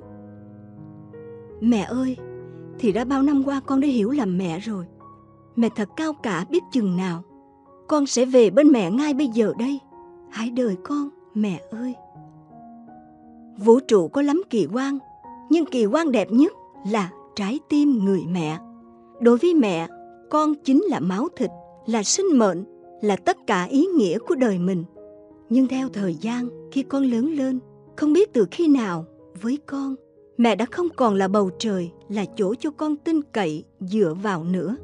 Nhưng với mẹ, thì dù con có khôn lớn thế nào, con vẫn mãi mãi là đứa trẻ nhỏ bé ngày nào trong mắt mẹ. Trong mọi hoàn cảnh hãy nhớ luôn yêu thương và bên cạnh mẹ. Đừng làm mẹ buồn lòng, bạn nhé. Chiếc áo mưa. Thằng tý đã là một nhân vật quen thuộc của bãi rác này. Hàng ngày cũng có rất nhiều trẻ mồ côi tới lượm ve chai và móc bọc như nó. Bọn nó tranh nhau lãnh thổ, có bữa nó còn bị đánh đến chảy máu. Bữa đó đẹp trời tí lượm được rất nhiều ve chai nơi bãi rác bữa nay chắc là mình sẽ bán được kha khá tiền đây. Nhất định mình sẽ mua một cái mền để đắp. Quần áo mình rách rưới thế này. Đêm tới nằm ngủ lạnh ơi là lạnh.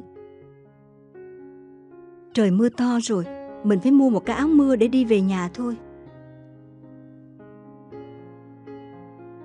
Mẹ ơi, mưa to thế này thì làm sao về nhà kịp hả mẹ?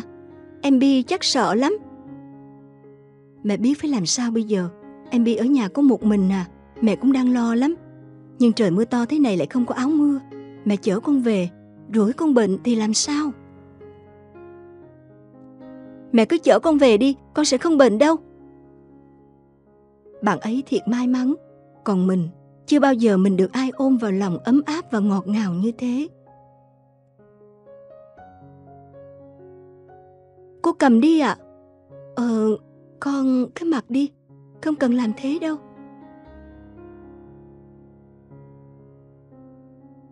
Thằng bé dù có vẻ khó khăn, nhưng đôi mắt rất sáng, gương mặt nhân hậu.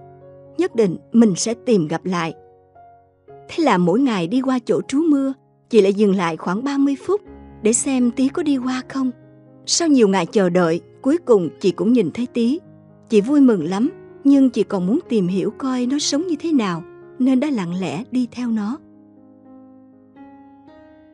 Tội nghiệp thằng nhỏ, không ngờ cuộc sống vẫn còn nhiều mảnh đời thật bất hạnh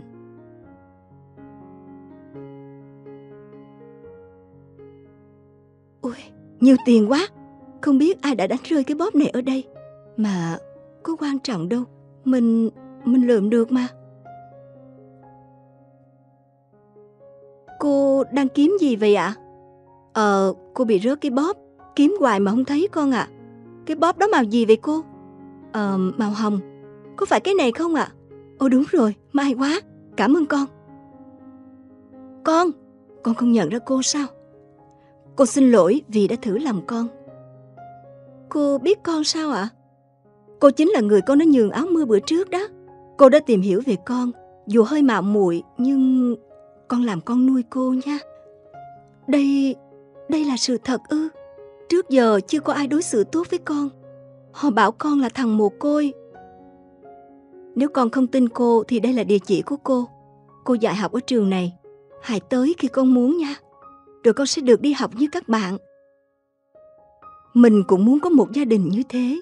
Mình sẽ được đi học, được nhận tình thương yêu của một người mẹ. Dù sống trong hoàn cảnh nào, hãy luôn giữ cho mình một trái tim biết yêu thương và sự trong sáng trong tâm hồn. Bạn sẽ nhận lại những điều tốt đẹp do chính bạn mang đến. Mạnh mẽ lên bạn nhé. Trang lang thang một mình trên con đường nhỏ. Trên con đường này mới mùa đông qua, có hai đứa trẻ vẫn cùng nhau đạp xe đạp, cùng nhấm nháp những đồ ăn vặt nóng hổi vỉa hè. Mọi thứ dường như vẫn như ngày hôm qua. Nè, nhà cậu mới chuyển tới đây hả? Ừ. Cậu à, chúng ta là láng giềng đó. Thế à? À, hàng ngày chúng ta có thể đi học cùng nhau, được chứ? Nếu cậu muốn. Cậu tên là gì hả? Mình tên là Quy, học lớp 9C. Cái tên đẹp đó. Vậy là chỉ sau vài ngày nhà Trang dọn tới chỗ ở mới, Trang đã có một tình bạn hơi ngô ngố nhưng cũng có vẻ đáng yêu. Cả hai chơi với nhau rất thân. Quy giỏi toán, còn Trang thì giỏi văn. Cả hai đều là những học sinh xuất sắc của trường. Chuyện đã không có gì đáng nói cho tới khi nhà Quy có biến cố xảy ra. Ba mẹ huy chia tay nhau. Vậy là từ một học sinh giỏi, ngoan hiền, hoạt bát, huy bỗng trở thành một con người khác, lầm lì, ít nói và hay gây gỗ với bạn bè. Gần đây huy còn cấp học nhiều ngày liền và tìm đủ mọi cách để tránh mặt Trang. Cậu vẫn coi mình là bạn chứ? Cậu muốn làm bạn với một thằng như mình ư? Ba mẹ mình bỏ nhau, mình trở thành đứa một côi một nửa. Mọi thứ với mình chẳng còn ý nghĩa nữa. Cậu hiểu rồi chứ? Mình hiểu và mình muốn chia sẻ với cậu. Mình không cần. Từ đó Trang chỉ im lặng đi bên cạnh Quy. Trang hiểu rằng Quy cần được ổn định về mặt tâm lý. Trang lặng lẽ chép bài cho Quy khi Quy bỏ dở bài học và cúp tiếp. Trang vẫn can ngăn khi Quy gây gỗ với người khác và vẫn là cái bóng đi bên cạnh mỗi khi Quy đi học về. Cho đến một buổi chiều, mình đang đứng ở đồng cỏ lao ngoài ô, tan học cậu ra đây gặp mình một chút.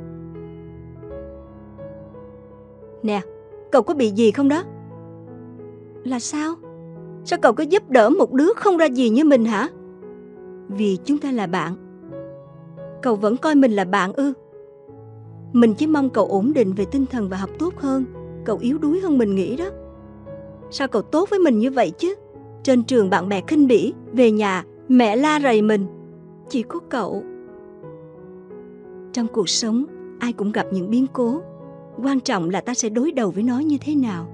Cậu có biết tại sao nhà mình phải chuyển về đây không? Mình cũng mồ côi một nửa như cậu đó. Mẹ mình không còn ở bên cạnh. Mình phải sống với ba và dì. Mình cũng đã từng hụt hẫng như cậu. Nhưng mình không thay đổi. Cậu hãy mạnh mẽ lên nào. Bạn của mình. Cậu... Mình chẳng hiểu gì về cậu rồi. Mình xin lỗi cậu. Cậu ráng lên. Mình sẽ luôn bên cậu. Mọi thứ sẽ qua đi theo cách tự nhiên của nó. Rồi cậu sẽ quen với cuộc sống hiện tại thôi mà. Cảm ơn cậu vì đã là bạn của mình. Năm ấy nhờ sự động viên của Trang, Quy đã tốt nghiệp trung học với số điểm rất cao và tình bạn đó vẫn còn mãi trong hai bạn. Sẽ có lúc ta gặp phải nhiều điều tồi tệ xảy ra và làm thay đổi cuộc sống hiện tại. Hãy dũng cảm đối mặt với nó, bạn sẽ mạnh mẽ và trưởng thành. Đừng để những điều đó làm cho tâm hồn bạn trở nên yếu đuối và cằn cỗi bạn nhé. Bãi đất trống Bãi đất trống trước cửa nhà Jin bỗng nhiên trở thành bãi rác từ bao giờ. Đầu tiên chỉ có một gia đình tới đó đổ rác, đội vệ sinh còn dọn dẹp. Sau đó người dân trong khu phố thấy vậy cũng vứt rác theo. bãi rác cứ thế lớn dần lên và không còn ai dọn dẹp nữa. Các con không được xả rác bừa bãi, như vậy là mất vệ sinh và mất đi vẻ đẹp của môi trường xung quanh mình. Mẹ ơi, tại sao bãi đất trống trước cửa nhà mình người ta cứ vứt rác bừa bãi thế mẹ? Không phải đất nhà mình thì thôi, có ý kiến cũng không được con ạ. À. Người ta cứ vô tâm xả rác là mùi hôi bốc lên nồng nặc. Cứ mãi thế này, ai mà chịu được chứ? Ít lâu sau lại xuất hiện những đứa trẻ đến móc bọc càng làm cho bãi rác trở nên bừa bãi hơn. Rin mang chuyện bãi rác trước cửa nhà mình kể cho ông nội nghe. Ông cháu mình cùng nhau đóng một cái biển cấm đổ rác thiệt to nha con. Từ nay nhìn thấy tấm biển này chắc mọi người sẽ phải dừng việc vứt rác ở đây, ông ha. Ăn cơm nhà vác tù và hàng tổng. Ông cháu này, đúng là rảnh hơi thiệt. Thế là cái bảng đã được dựng lên một cách trịnh trọng trước bãi rác. Nhưng hầu như không ai để ý đến nó. Người ta vẫn hàng ngày mang rác ra vứt bừa bãi, đè cả lên cái bảng, khiến nó đổ xuống. Công sức của ông cháu mình thành công cốc rồi. Một ngày nọ. À, chết tôi rồi. Ui, thằng bé đạp phải kim tim rồi. Sao lại có kim tim ở đây chứ? Bọn nghiện hút chắc thấy bãi rác nên vứt lung tung đây mà. Không biết có bị dính bệnh không nữa, nguy hiểm thiệt. Bãi rác cần được dọn dẹp sạch sẽ thôi. Nào, mọi người giúp tôi đưa thằng bé lên viện sơ cứu và làm các xét nghiệm cho cẩn thận trước đã. Mọi người thấy đó, bãi rác sinh ra bao nhiêu thứ rắc rối cho chúng ta. Các con nghiện xuất hiện, ô nhiễm môi trường, mất vệ sinh của khu phố. Các bác ơi, chúng ta hãy cùng nhau dọn dẹp bãi rác này nha. Đây là một khoảng đất đẹp, biết đâu nó sẽ là một chỗ vui chơi bổ ích cho các cháu thiếu nhi. Ông nói đúng đó, chúng ta cần phải làm một điều gì đó trước khi quá trễ. Không ai bảo ai, mọi người cùng nhau bắt tay vào dọn dẹp bãi rác thiệt sạch sẽ. Từ đó nó trở thành một sân banh mini cho đám trẻ của khu phố, trong đó có Jin. Cháu của ông ngoan lắm, còn nhỏ mà đã biết ý thức giữ gìn vệ sinh cho môi trường xung quanh. Chúng ta không chỉ giữ cho bản thân mình sạch sẽ, mà còn phải biết giữ gìn vệ sinh chung cho cộng đồng nữa. Con nhớ nha. Bảo vệ môi trường là một việc rất cần thiết đối với mỗi chúng ta. Khi môi trường bị ô nhiễm sẽ gây ra nhiều hệ lụy cho con người, vi khuẩn, bệnh tật, tệ nạn xã hội có điều kiện xuất hiện. Vì thế, mỗi chúng ta cần chung tay góp sức bảo vệ môi trường một cách thiết thực từ những việc làm nhỏ nhặt nhất bạn nhé.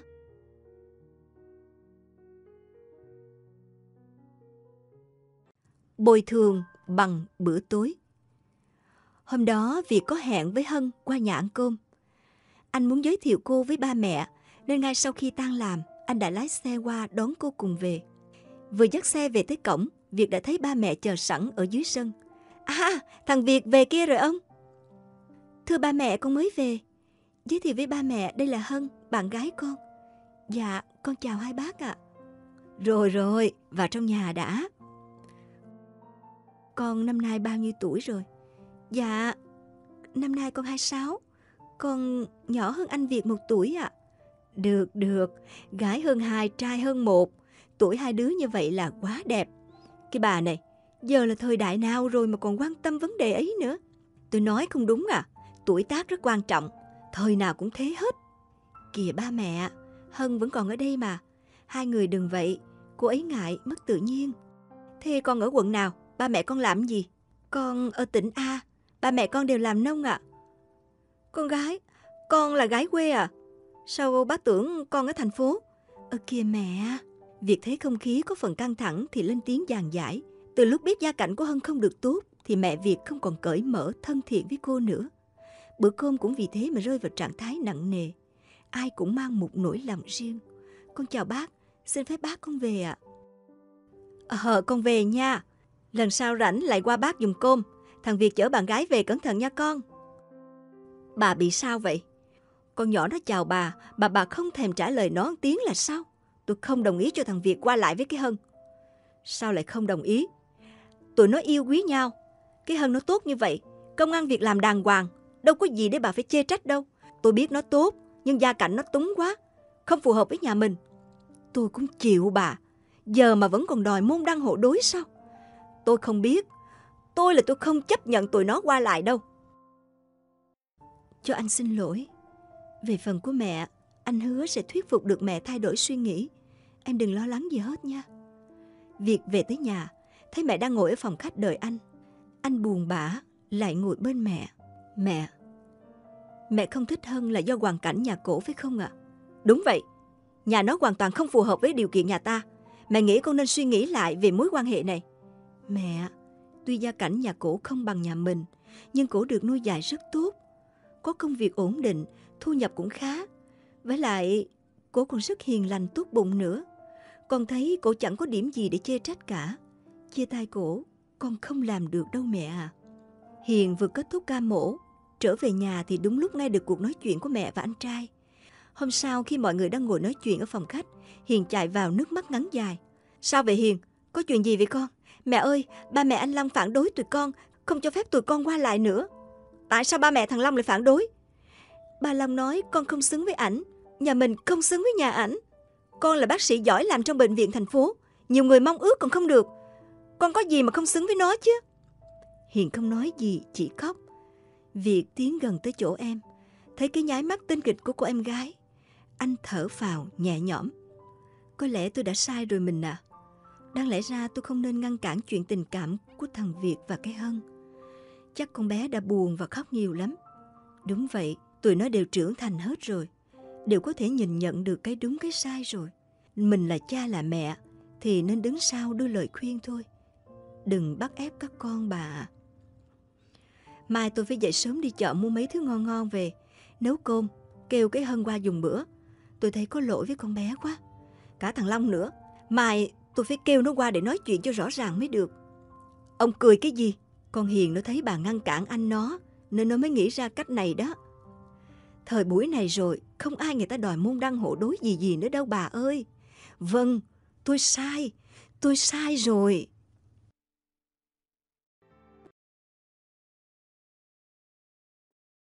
Cô bé kiếm thị Có cặp vợ chồng nhà nọ vốn hiếm muộn nhưng sống với nhau rất hạnh phúc.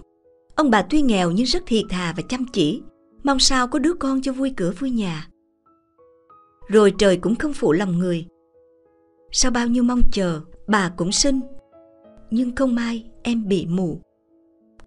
Con bị tật, mình lại không có tiền chạy chữa cho con.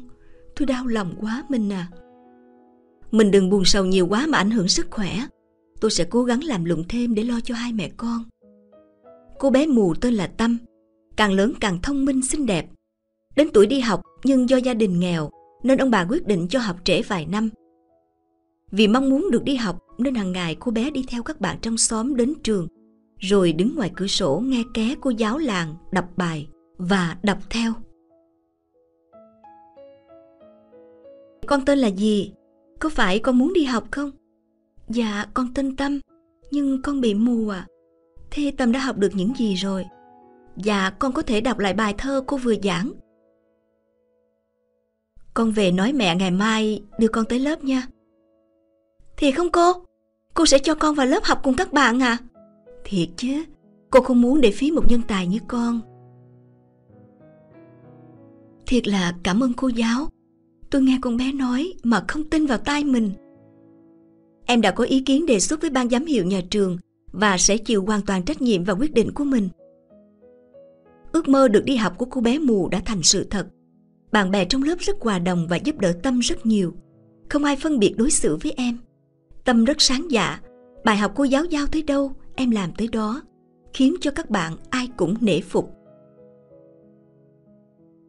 Sang tuần, nhà trường sẽ tổ chức kỳ thi chọn học sinh giỏi. Cô đã đăng ký danh sách cho lớp mình, trong đó có bạn Tâm. Cố gắng lên nghe con, cô tin là con sẽ làm rất tốt. Chúc mừng bạn, nhất định bạn sẽ đoạt giải cho mà coi. Không phụ lòng cô giáo và các bạn, Tâm đã đoạt giải nhất của trường, rồi được cử đi thi học sinh giỏi cấp huyện khiến thầy cô trong trường vô cùng tự hào.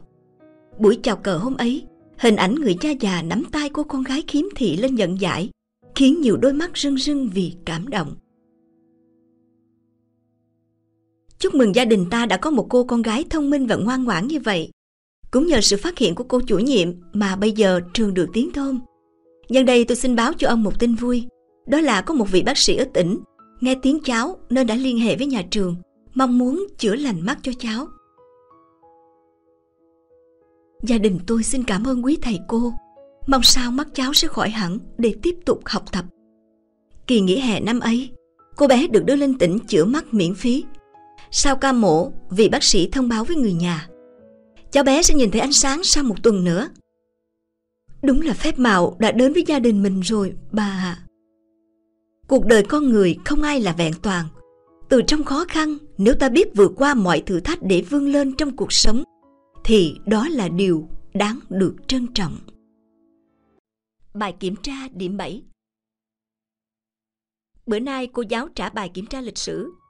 Tin háo hức nhận bài kiểm tra từ tay lớp trưởng. Cậu không khỏi ngạc nhiên khi bài kiểm tra của mình chưa được điểm 7. Ôi sao lại thế này? Mình đã ôn bài rất kỹ càng và làm bài khá chính xác so với đáp án cô đưa ra mà. Cô còn phê bình bài làm tốt nhưng cần cẩn thận hơn trong nét chữ và chính tả. Buồn thiệt đó. Tin ơi, ra ăn cơm đi con. Con không đói. Không đói cũng phải ăn chứ con. Con đã cố gắng hết sức nhưng chỉ được điểm 7 thôi mẹ à. Và đây là lý do con không ăn cơm. Con... con thấy hơi thất vọng mẹ. Mẹ thấy điểm 7 cũng không quá tệ. Nếu con chưa thấy hài lòng thì đó là động lực để con cố gắng. Nhưng con đã làm đúng tất cả mà. Uhm, con có coi lại bài kiểm tra của mình không? Cô giáo đã phê rất rõ ràng. Con làm gì cũng phải để ý trước sau. Khi làm xong thì phải coi lại bài, coi có sai chính tả không. Mẹ thấy bài làm của con tuy rất tốt, nhưng lại sai chính tả và chữ viết rất xấu con à. Nghe lời mẹ, từ bữa đó tin quyết tâm đi luyện chữ cho thiệt đẹp và đọc sách thiệt nhiều để học chính tả. Mẹ tin rất quan nghênh và chở tin tới lớp luyện chữ của một người bạn. Lớp học không có nhiều thành viên, chủ yếu là các bạn nhỏ còn nhỏ tuổi hơn cả tin. Tin vô cùng tự tin vào khả năng viết của mình, chỉ cần luyện chữ đẹp và đúng chính tả nữa là xong. Viết tất cả các chữ cái. Ồ, phần này mình đã học từ lớp 1, quá đơn giản. Lần sau cô phải cho đề bài nào khó hơn, chứ bạn chữ cái thì vô vị quá. Bữa nay Tin tiếp tục viết bản chữ cái cho cô nha. Chẳng lẽ cô không biết mình đã học lớp 5 rồi sao? Mình sẽ tiếp tục viết thiệt đẹp để cô giáo sẽ cho mình một bài tập khác khó hơn. Gần một tháng trôi qua, Tin vẫn miệt mài làm bài tập cũ kỹ của cô. Tuy nhiên cậu bé vẫn không dám nói lên điều mình thắc mắc. Cậu bé tin rằng cô là người đã đào tạo ra rất nhiều học sinh viết chữ đẹp, nên cách dạy của cô cũng khác người. Con có cảm thấy nhàm chán với bài tập cô đưa ra không? Dạ, không sao, mọi thứ đều có lý do con ạ. À. Con hãy lật lại từng trang viết của mình và cho cô một nhận xét. Dạ, tất cả các trang đều không giống nhau. Đúng thế con ạ. À. Và con có thể thấy những nét chữ của mình đã chỉnh chu và đẹp hơn hẳn qua mỗi ngày. Dạ thưa cô, bài tập này không chỉ luyện cho con về nét chữ mà còn muốn con phải chú ý nhiều hơn tới việc mình làm. Công việc nào cũng đòi hỏi sự cẩn thận và tỉ mỉ thì mới tiến bộ được con à. Cũng như con người ta, muốn đi đến thành công thì phải nỗ lực và cố gắng rất nhiều. Thưa cô, con đã hiểu. Không chỉ việc viết chữ, mọi hành động của chúng ta dù là nhỏ nhất đều đòi hỏi phải cẩn thận. Sự cẩn thận mang lại cho chúng ta hiệu quả trong công việc và không phải thất vọng vì những gì mình đã gây ra. Ly nước chanh nóng. Hân không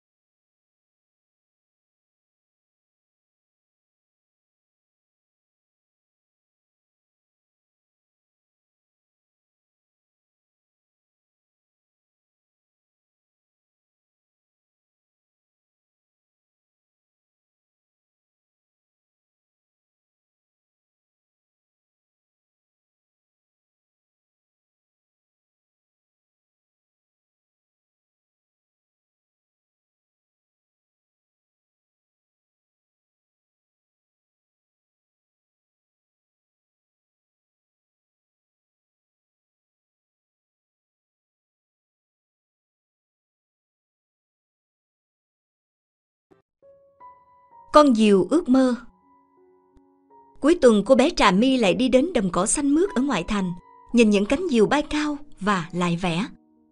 Gia Bình biết điều đó bởi mỗi lần đi thả diều, cậu lại thấy Trà My say mê với những cánh diều và bức vẽ của mình. Một bữa, Gia Bình chạy tới chỗ Trà My ngồi và bắt chuyện. Cậu vẽ cái gì đó? Mình vẽ những con diều. Nhiều như thế này làm sao cậu vẽ hết? Mình chỉ vẽ con diều mang mơ ước của mình thôi. Nè, cậu vẽ ước mơ xong chưa? Cậu có thể cho mình biết ước mơ của cậu là gì không? Để làm gì? À, mẹ mình nói ước mơ có thể thành hiện thực đó. Nhưng ước mơ của mình chắc sẽ không bao giờ thành sự thật đâu.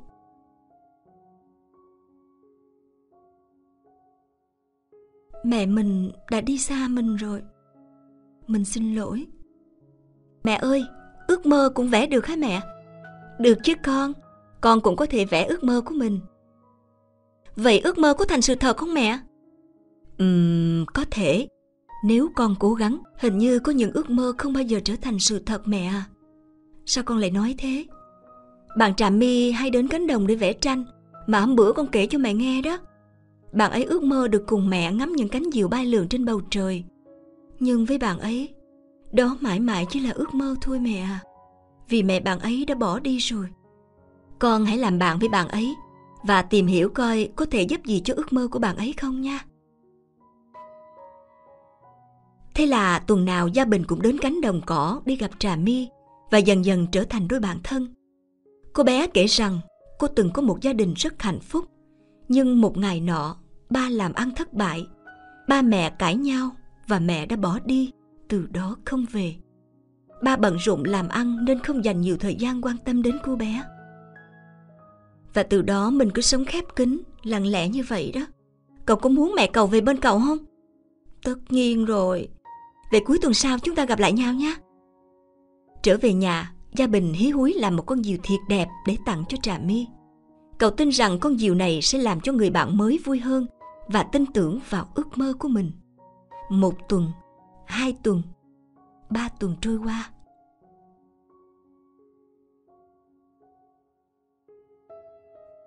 Trà My, mình ở đây nè. Cậu đợi mình lâu chưa? Cuối tuần nào mình cũng ra đợi cậu ở đây, nhưng không gặp được cậu. Cuối cùng thì cậu cũng tới rồi. Mấy tuần nay cậu đi đâu vậy? Mình đi học đàn. Tuần nào mình với ba đi ngang qua con đường này cũng thấy cậu, nhưng mình không thể gặp cậu. Bữa nay mình quyết định nghỉ học đàn để tới gặp cậu. Mình đã tự tay làm con diều này.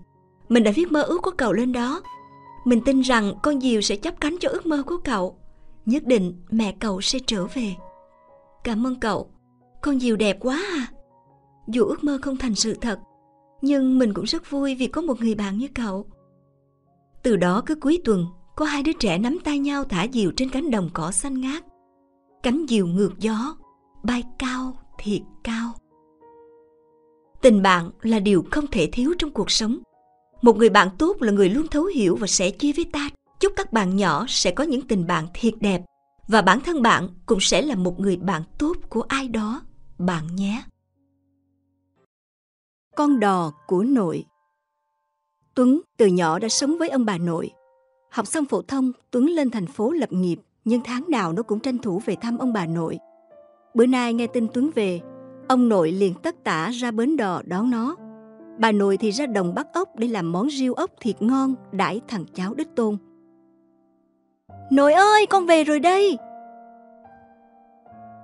Tao tưởng tháng này bay đi công tác không về thăm tao với bà nội bay nữa chứ. Con đi công tác về rồi, con mua quà cho nội nè, nhiều lắm. Bay cứ bày đặt, tao với nội bay có thiếu thốn gì đâu. Tuấn ngồi lên con đò của nội, nhìn cái lưng nội còng đi theo năm tháng vì phải đưa khách mỗi ngày. Nó chẳng thể nào quên những năm tháng nhọc nhằn ông bà nội đã nuôi nó nên người. Hồi đó Tuấn mới học xong lớp 5 trường làng. Còn nít trong xóm muốn học lên nữa thì phải qua làng kế bên. Ngăn cách hai làng là con sông nhỏ. Bà, hay tôi xin nghỉ làm bảo vệ xã, về đưa đò cho tụi nhỏ đi học. Vài tháng nữa thằng Tuấn cũng đi học ở làng bên rồi. Thằng Tuấn biết bơi rồi mà ông. Bà thấy trong xóm có đứa nào mà không biết bơi không? Nhưng năm nào cũng có tai nạn sông nước xảy ra đó. Nhưng ông nghỉ việc thì sẽ khó khăn cho nhà mình lắm. Cả tháng trông chờ vào đồng lương của ông, chưa mới rau con cá của tôi có nhầm nhò gì đâu. Khó cỡ mấy cũng phải cho thằng Tuấn đi học. Cha mẹ nó cũng vì không có con chữ nên giờ mới cực khổ đi tứ xứ mưu sinh. Nó đang học hành giỏi giang, tôi quyết tâm nuôi nó ăn học thành tài. Từ đó nội xin nghỉ làm, có bao nhiêu tiền chắc chiêu nội gom lại mua một con đò nhỏ. Ngài bốn lượt đưa học sinh qua sông không lấy tiền. Người trong xóm lúc đầu cũng ái ngại vì nội tuổi cao sức yếu. Cũng có người thương, góp ý. Ông ơi, ông nghỉ ngơi cho khỏe. Ông chèo đò thế này nguy hiểm lắm. Làng mình xưa giờ không ăn học cũng sống được mà. Sống thì sao cũng sống được. Mình đã thiệt thòi. Không thể để con cháu nó thiệt theo mình được. Dần dần mọi người trong làng cũng quen với hình ảnh ông cụ ốm yếu gầy gò, hàng ngày đưa học sinh qua sông. Nhờ con đò nhỏ của nội mà tụi nhỏ trong xóm có điều kiện học tiếp và yên tâm tới trường hơn. Ông bà nghèo lại có tâm, chúng ta nên để ở đây một thùng tiền nhỏ, tùy lòng hảo tâm của từng người mà đóng góp để ông bà còn có đồng ra đồng vào trang trải cuộc sống. Bà con đừng làm thế, tôi không dám nhận đâu. Tôi làm công việc đưa đò này cũng vì thằng cháu Tuấn nữa vì quyết tâm cho nó học hành tới nơi tới chốn mà thôi. Ông đừng từ chối tấm lòng của bà con mình nữa. Của một đồng nhưng công một nén, bà con tụi tôi cũng chỉ ủng hộ ông bà được chút đồng lẻ, tha cho lời cảm ơn thôi. Tiền mọi người ủng hộ, bà trích ra mua lá trà xanh nấu nước mát để ở bến đò. Ai đi qua thì ghé uống thân tình. Tôi nhớ rồi, ông cứ yên tâm. Tuấn lớn dần lên nhờ những chuyến đò của nội. Giờ đây khi đã thành đạt, nó chẳng bao giờ quên nhờ công của nội mà ước mơ của nó cùng với nhiều thế hệ học sinh đã bay cao bay xa. Nội à, con sẽ xây một chiếc cầu bắc qua con sông này. Nội sẽ không phải lái đò nữa. Tới đó rồi tính con ạ. À. Con muốn nội được nghỉ ngơi. Con đã đề xuất việc này lên công ty. Con tin rằng công ty con sẽ tài trợ cho việc xây cầu. Làng mình sẽ không bị cách trở về giao thông nữa, nội à sự hy sinh vất vả của nội rồi cũng được đền đáp xứng đáng. Điều đó cho ta thấy rằng thành quả nào cũng phải trải qua khó khăn gian khổ. Nhưng nếu bạn có quyết tâm thì bạn sẽ vượt qua được mọi rào cản của cuộc sống, bạn nhé. Làm việc có kế hoạch Năm 13 tuổi, cậu bé Thi Nại Am được ba gửi tới học ở một ngôi trường tư thục cách nhà khá xa. Người quản lý ngôi trường ấy là một võ tướng quy danh lẫy lừng. Tuổi trung niên, ông làm ngộ thương một viên quan nên mới về ở ẩn. Đến nơi này dạy học. Một buổi sớm nọ, rõ ràng là mình nghe thấy tiếng gió thổi mạnh ở sau vườn nhưng lại không thấy lá cây lay động. Kỳ lạ thiệt. Hóa ra là thầy giáo đang luyện công. Giờ mình đã hiểu là do thầy múa roi sắt nên mới tạo ra tiếng gió vù vù phải công nhận thân thủ thầy lanh lẹ, nhanh thoăn thoắt. Đúng là cao thủ võ lâm. Ủa, tại sao con lại đứng chờ ở đây? Học trò nhìn thầy luyện công đến say mê, một lòng muốn theo thầy học võ ạ. À? Con từ xa tới là để học hành chữ nghĩa. Ta thấy con nên chuyên tâm đọc sách mới đúng. Thưa thầy, học trò sẽ chăm chỉ đọc sách. Xin thầy hãy thu nhận con học võ nữa đi ạ. À ta đã có lời thề không thu nhận đệ tử con không nên làm khó cho ta chẳng còn cách nào hàng ngày cậu bé đều dậy sớm lên nhìn thầy giáo luyện công đến tối học xong bài lại bắt chước luyện võ cứ như thế trong suốt ba năm liền cuối cùng cũng luyện thành kết quả tiết thanh minh năm đó thầy giáo cho các học trò nghỉ một ngày rồi đưa họ ra ngoài ô du xuân thi nại am cùng các học trò khác đang đi trên đường bỗng nhiên nghe thấy tiếng kêu cứu. Cứu mạng, xin hãy cứu mạng. Tên nào dám xông vào đây thì như đòn với ta. Đừng có xen vào chuyện người khác. Biết chưa? Giữa ban ngày mà dám cưỡng đoạt ức hiếp con gái nhà lành.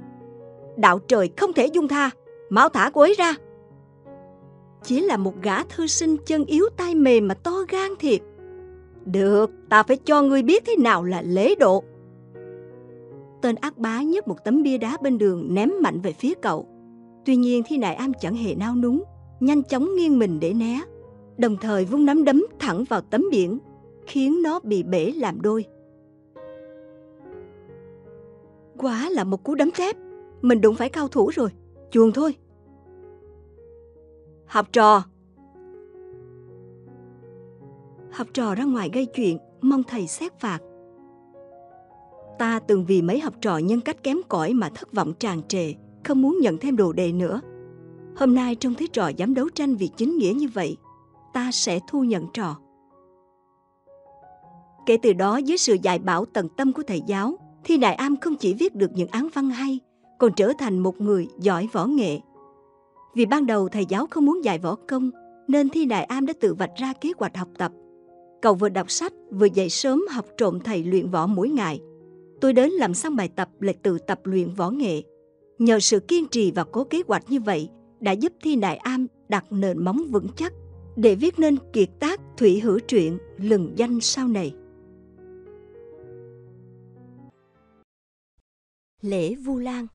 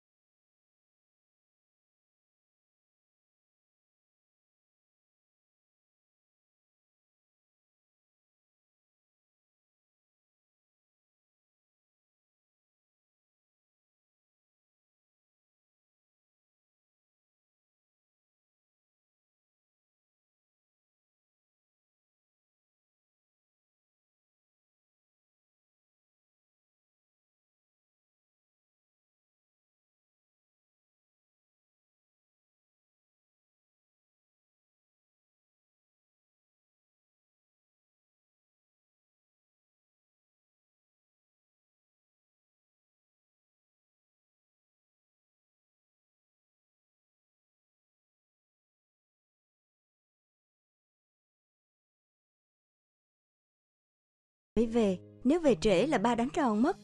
Cậu không đi sẽ tiếc đó. Bữa nay chùa đông vui lắm đó. Lễ Vu Lan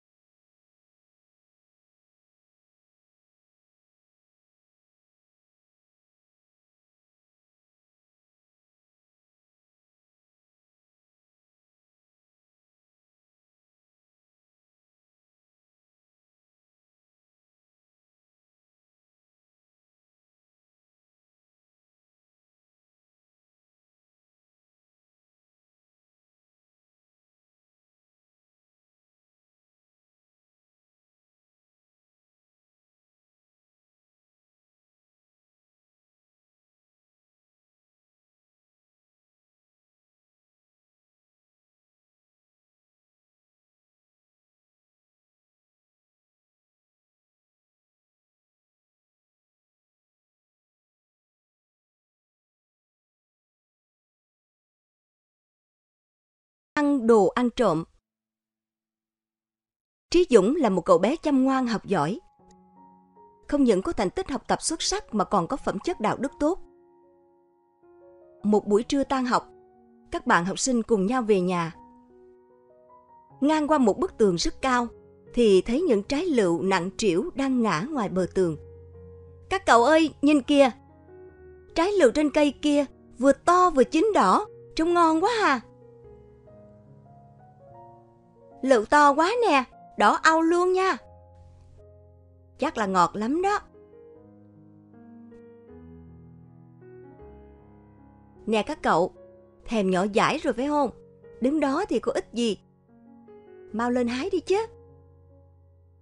Nào, một cậu trèo lên vai mình đi. Như thế sẽ hái được những trái lựu đó.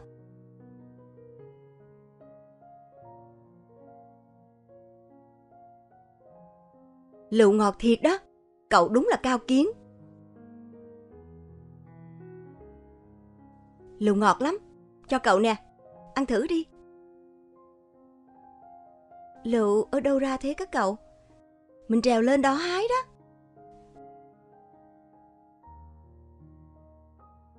Có cậu lấy trộm lựu của người ta mà không sợ bị mẹ la sao? Mình không nói cho mẹ biết là được mà. Có cậu đang trộm đồ của người khác lại còn nói dối. Như vậy là không tốt đâu. Thôi, mình về trước đây.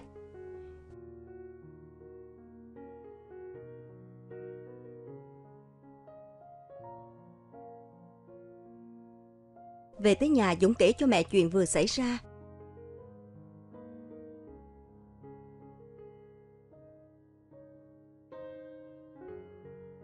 Mẹ nghe xong rất vui vì biết con trai đã luôn luôn ghi nhớ những lời dạy của mẹ. Thế thực sự là con không muốn ăn lựu sao? Con muốn ăn lắm chứ. Vậy bạn chia cho, sao con không ăn? Đó là đồ ăn trộm, con không thể ăn. Nếu mẹ biết con làm thế thì mẹ sẽ buồn mà. Con không nói thì sao mẹ biết được?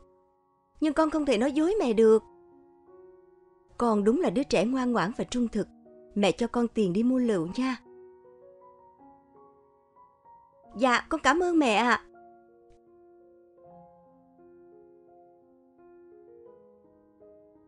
Trong cuộc sống, cám dỗ là điều không thể tránh khỏi. Khi đó mỗi người cần biết cách chống đỡ, vượt qua cám dỗ và ghi nhớ. Tuyệt đối không được nghĩ tới việc lấy những thứ không phải là của mình.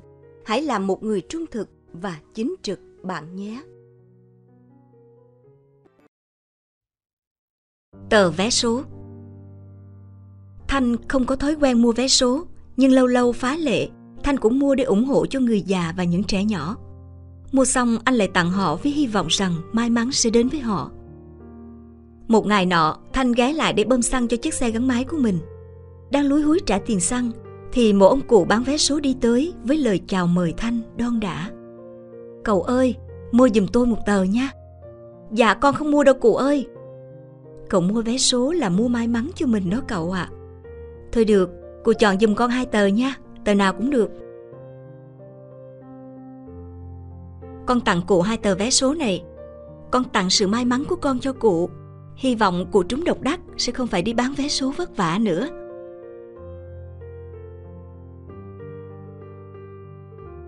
sau lần đó thanh chuyển công việc nên không còn đi qua cây xăng đó nữa bẵng đi khá lâu trong một lần đi làm về muộn. Cái xe của thanh bị hư nên phải dẫn bộ một đoạn khá xa. May quá, phía trước có tiệm sửa xe rồi. Hy vọng là giờ này vẫn còn có người ở đó. Họ đóng cửa mất rồi. Mình thử bấm chuông nhà, Nhờ người ta ra mở cửa sửa dùm coi có được không? Rất mong tìm gặp người có biển số xe 50H1 3923 nếu ai biết xin liên hệ Chân thành cảm ơn. Ồ Kỳ vậy. Chẳng phải đây là biển số xe của mình sao? Nè Cậu tìm ai đó? Dạ con muốn nhờ người sửa xe Là cậu, đúng là cậu rồi. Cậu còn nhớ tôi, ông lão bán vé số ở cây xăng Bình Lộc hai năm trước không? Ôi, quá ra là cụ à, con nhớ rồi. Ân nhân của tôi đây rồi, tôi tìm cậu mấy năm nay, không ngày nào tôi không ra cây xăng đó để mong gặp lại cậu. Nhờ hai tờ vé số đó của cậu mà tôi đã trúng độc đắc đó. Ồ, thiệt vậy ạ? À? Cậu có biết vì sao tôi mở tiệm sửa xe này không? Là vì cậu đó. Tôi chỉ mong người qua lại ghé vào để tôi hỏi thăm. Tôi còn dán cả biển số xe của cậu ở đây. Tôi đã dặn lòng là nhất định phải gặp lại cậu. Dạ, con làm việc này là theo thói quen. Cụ đừng nặng ơn nghĩa mà con ngại. Cụ sửa giùm con cái xe để con chạy về nhà kéo muộn ạ. À. Được, được chứ. Cậu đợi tôi chút nha. Gặp lại cậu coi như cũng là cái duyên.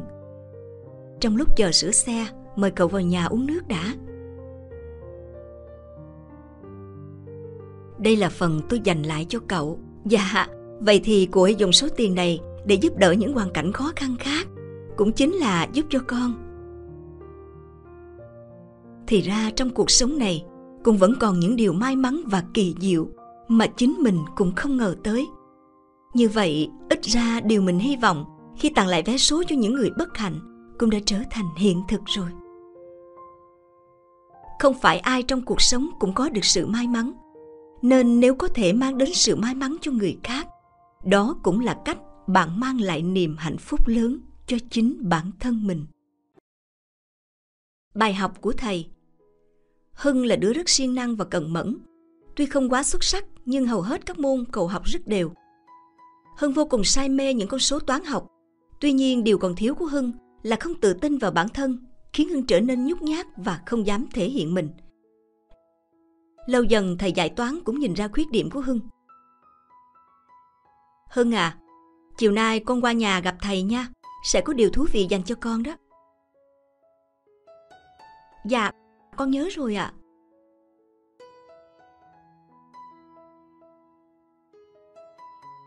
Chẳng biết thầy gọi mình qua nhà có chuyện gì ta? Chưa bao giờ mình tự tin đứng trước mặt thầy. Mình đã làm điều gì sai với thầy ư? Alo, thầy ơi, chiều nay con thấy hơi mệt, nên không qua nhà thầy được rồi. Các con, bữa nay chúng ta sẽ có bài kiểm tra 15 phút. Bây giờ cả lớp chú ý thì kỹ nha. Thầy sẽ đưa ra 3 đề bài. Đề thứ nhất thuộc khung điểm 10 với độ khó nhất định. Đề thứ hai là khung điểm 7 tương đối an toàn. Đề thứ ba là khung điểm 5 tương đối dễ. Các con được quyền lựa chọn một trong ba đề bài trên. Nè, cậu chọn đề nào đó? Thầy ra bài kỳ ghê ha. Mình chọn mức an toàn thôi, để điểm 7 nha. Ừ, mình cũng đang nghĩ vậy. Điểm 10 ngán lắm, sợ làm không nổi. Sau khi các đề kiểm tra được phát ra, chỉ vài ba bạn trong lớp chọn đề bài có khung điểm 10. 40% trong lớp chọn khung điểm 7. Hưng cũng nằm trong số đó. Những thành viên còn lại thì chọn khung điểm 5. Đến khi thầy trả lại bài cho cả lớp, ai cũng nhận được đúng khung điểm mà mình đã chọn. Biết thế thì mình đã mạnh dạn chọn khung điểm 10 rồi. Tiếc ghê. Các con có biết tại sao không? Tại sao lại như vậy thưa thầy? Bài kiểm tra này, thầy kiểm tra sự tự tin của các con. Các con biết rằng trong cuộc sống có những việc các con nhìn vào và phỏng đoán nó quá sức mình nên dễ dàng thoái lui. Nhưng thực ra nếu ta tự tin đối mặt thì các con sẽ vượt qua hết sức dễ dàng. Điểm 10 sẽ dành cho những bạn có đủ sự tự tin đó. Mình đã không đủ tự tin để chọn khung điểm 10 dù mình rất muốn. Thưa thầy, con lo ngại điều gì nên hôm qua mới không đến nhà thầy, đúng không? Nếu hôm qua con đến, thầy tin là con sẽ rất vui vì đó là một buổi bồi dưỡng môn toán rất quan trọng. Thầy muốn con tham gia vì thầy biết con rất thích học toán. Tuy nhiên con đã không đủ tự tin để tới và bỏ lỡ cơ hội rồi.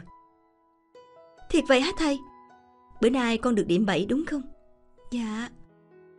Con hãy nhớ rằng nếu cứ mãi nhút nhát và lo sợ như vậy con sẽ làm mất đi sự tự tin của bản thân và đánh mất những cơ hội mình đang có đó ráng lên con là một học sinh rất tiềm năng thầy tin điều đó thì ra thầy hiểu và quan tâm tới mình như vậy chỉ vì không có được sự tự tin mà mình đã bỏ lỡ những cơ hội tốt và phụ lòng thầy rồi cảm ơn thầy. Con sẽ cố gắng hết sức để tự tin hơn và giành lấy những kết quả tốt hơn trong học tập. Trong cuộc sống, sự tự tin mở cho chúng ta nhiều cơ hội để thành công và dám đối mặt với mọi thử thách. Hãy luôn tự tin vào chính bản thân mình để biết được khả năng của bạn đến đâu và có thể chinh phục mọi rào cản của cuộc sống. Bạn nhé. Mùa lúa chín sáng hôm nay là ngài lan và nga lên thành phố nhập học. Hai bạn sống cạnh nhà nhau từ nhỏ. Và giờ đây lại cùng đậu vào một trường đại học, nên quyết định tìm phòng trọ ở chung. Hai đứa ở trên đó xa nhà, nhớ phải chăm sóc lẫn nhau, bảo ban nhau học hành. Nếu thiếu thốn gì thì phải gọi về cho mẹ biết, nghe không? Dạ tụi con nhớ rồi. Ba mẹ và bác ở nhà giữ gìn sức khỏe nha. Khi nào được nghỉ, tụi con sẽ về thăm nhà. Con đi rồi giờ nhà chỉ còn mình mẹ. Có chuyện gì mẹ phải gọi cho con nha. Không thì chạy qua nhờ ba mẹ lan nha mẹ. Các con cứ yên tâm học hành. Mẹ ở nhà đã có hai bác. Thôi đi đi, xe tới rồi. Thôi nào, đừng khóc nữa. Mình đi tới hè lại về mà. Bà nga mất sớm. Nhà chỉ có hai mẹ con sống nương tựa vào nhau. Giờ nga đi học xa nhà, chỉ còn mẹ ở nhà một mình nên nga rất lo cho mẹ. Nga đừng lo quá, có chuyện gì đã có ba mẹ lan rồi, rảnh thì chịu khó gọi điện về cho mẹ đỡ buồn. Kỳ nghỉ hè đến cũng là lúc vụ lúa ở quê sắp tới kỳ thu hoạch. Sáng hôm đó, lan chuẩn bị đồ đạc để bắt xe về quê phụ giúp ba mẹ công việc đồng áng. Hè được nghỉ dài, sao nga lại không về? Nga nga còn bận chút việc, lan cứ về trước đi. Việc gì chứ? Thi cử xong hết rồi mà. Nga cũng có đi làm thêm gì đâu. Ờ ừ, thật thực ra thì về quê lại phải phơi nắng đi gặt da nga mãi mới trắng được thế này. Giờ mà về thì lại đen mất thôi. Nga đang nghĩ gì vậy?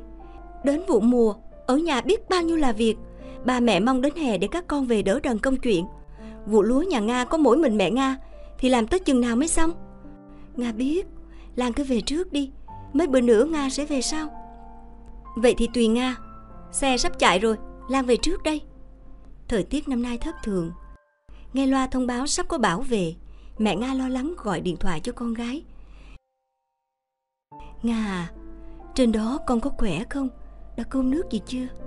Con khỏe mẹ à ở nhà thế nào rồi ạ?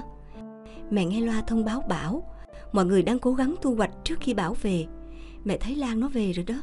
Sao con còn chưa về? Dạ dạ con còn một ít bài vở chưa hoàn thành.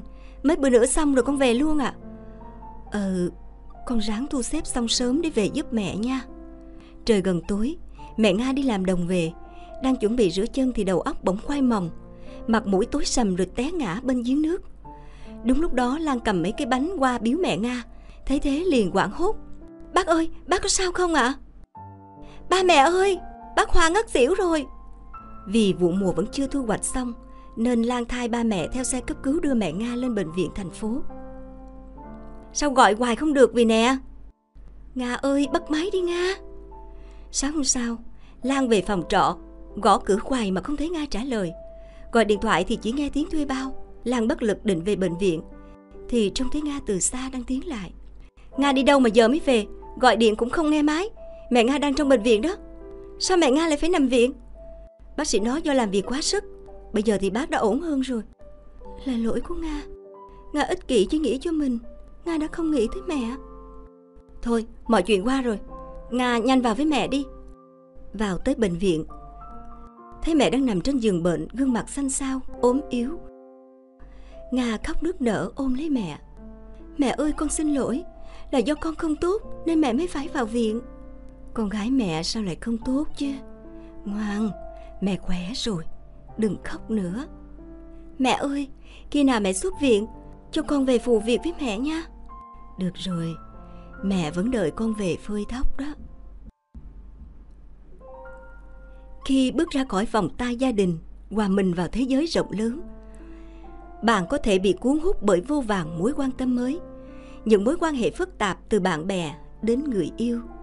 Nhưng đừng quên rằng có một nơi gọi là nhà. Mẹ của bạn vẫn luôn dõi theo từng bước đi luôn sẵn sàng động viên và ủng hộ bạn. Vì thế hãy dành thời gian để ở bên mẹ. Hãy nói nhiều lời yêu thương hơn với mẹ. Trong những thời khắc chúng ta còn có thể bạn nhé. Con ngựa gỗ của ba. 7 giờ 30 sáng Tiếng trống trường vang lên báo hiệu đến giờ vào lớp. Các bạn học sinh vội vàng vào chỗ ngồi của mình. Cô giáo bước vào lớp, trên tay cầm một sấp bài tập làm văn. Chào lớp 3A1 thân yêu của cô. Bài tập làm văn miêu tả về món đồ chơi yêu thích vừa rồi của các con rất tốt. Như bạn Na tả về con búp bê mà mẹ mua cho, bạn Hùng nói về con robot được ba tặng, còn bạn Nam viết về chiếc máy bay điều khiển từ xa. Cô cũng rất tò mò về con ngựa gỗ mà ba của bạn Hoàng đã tự tay làm cho bạn ấy. Hoàng à, con có thể kể cho cô và các bạn nghe được không? Dạ thưa cô, trước đây con có thích một con ngựa gỗ của anh họ, nên đã đòi ba làm cho mình một con giống y như vậy.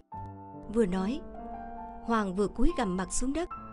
Ba của Hoàng đi từ ngoài sân vào nhà, cầm trên tay con ngựa gỗ vừa làm xong, tươi cười gọi Hoàng. Hoàng ơi, ra coi ba có gì cho con nè. Hoàng từ phòng chạy ra nhận con ngựa gỗ từ tay ba. Ba, nó không giống của anh Minh. Của anh Minh đẹp hơn nhiều. Con ngựa gỗ của ba xấu lắm, đuôi còn ngắn nữa. Con không chịu đâu, ba làm con khác đi. Hoàng giận dỗi bỏ vào phòng. Ba của Hoàng nhẹ nhàng nhặt con ngựa lên. Phủi lớp mùng gỗ còn bám trên mình nó. Gương mặt ông tỏ vẻ buồn rầu. Nhìn mãi vào con ngựa đang cầm trên tay. Rồi lại nhìn cửa phòng của Hoàng.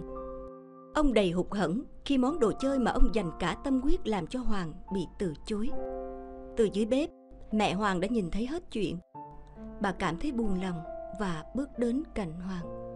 Con à, con có biết rằng ba con làm ra con ngựa gỗ đó rất cực khổ không?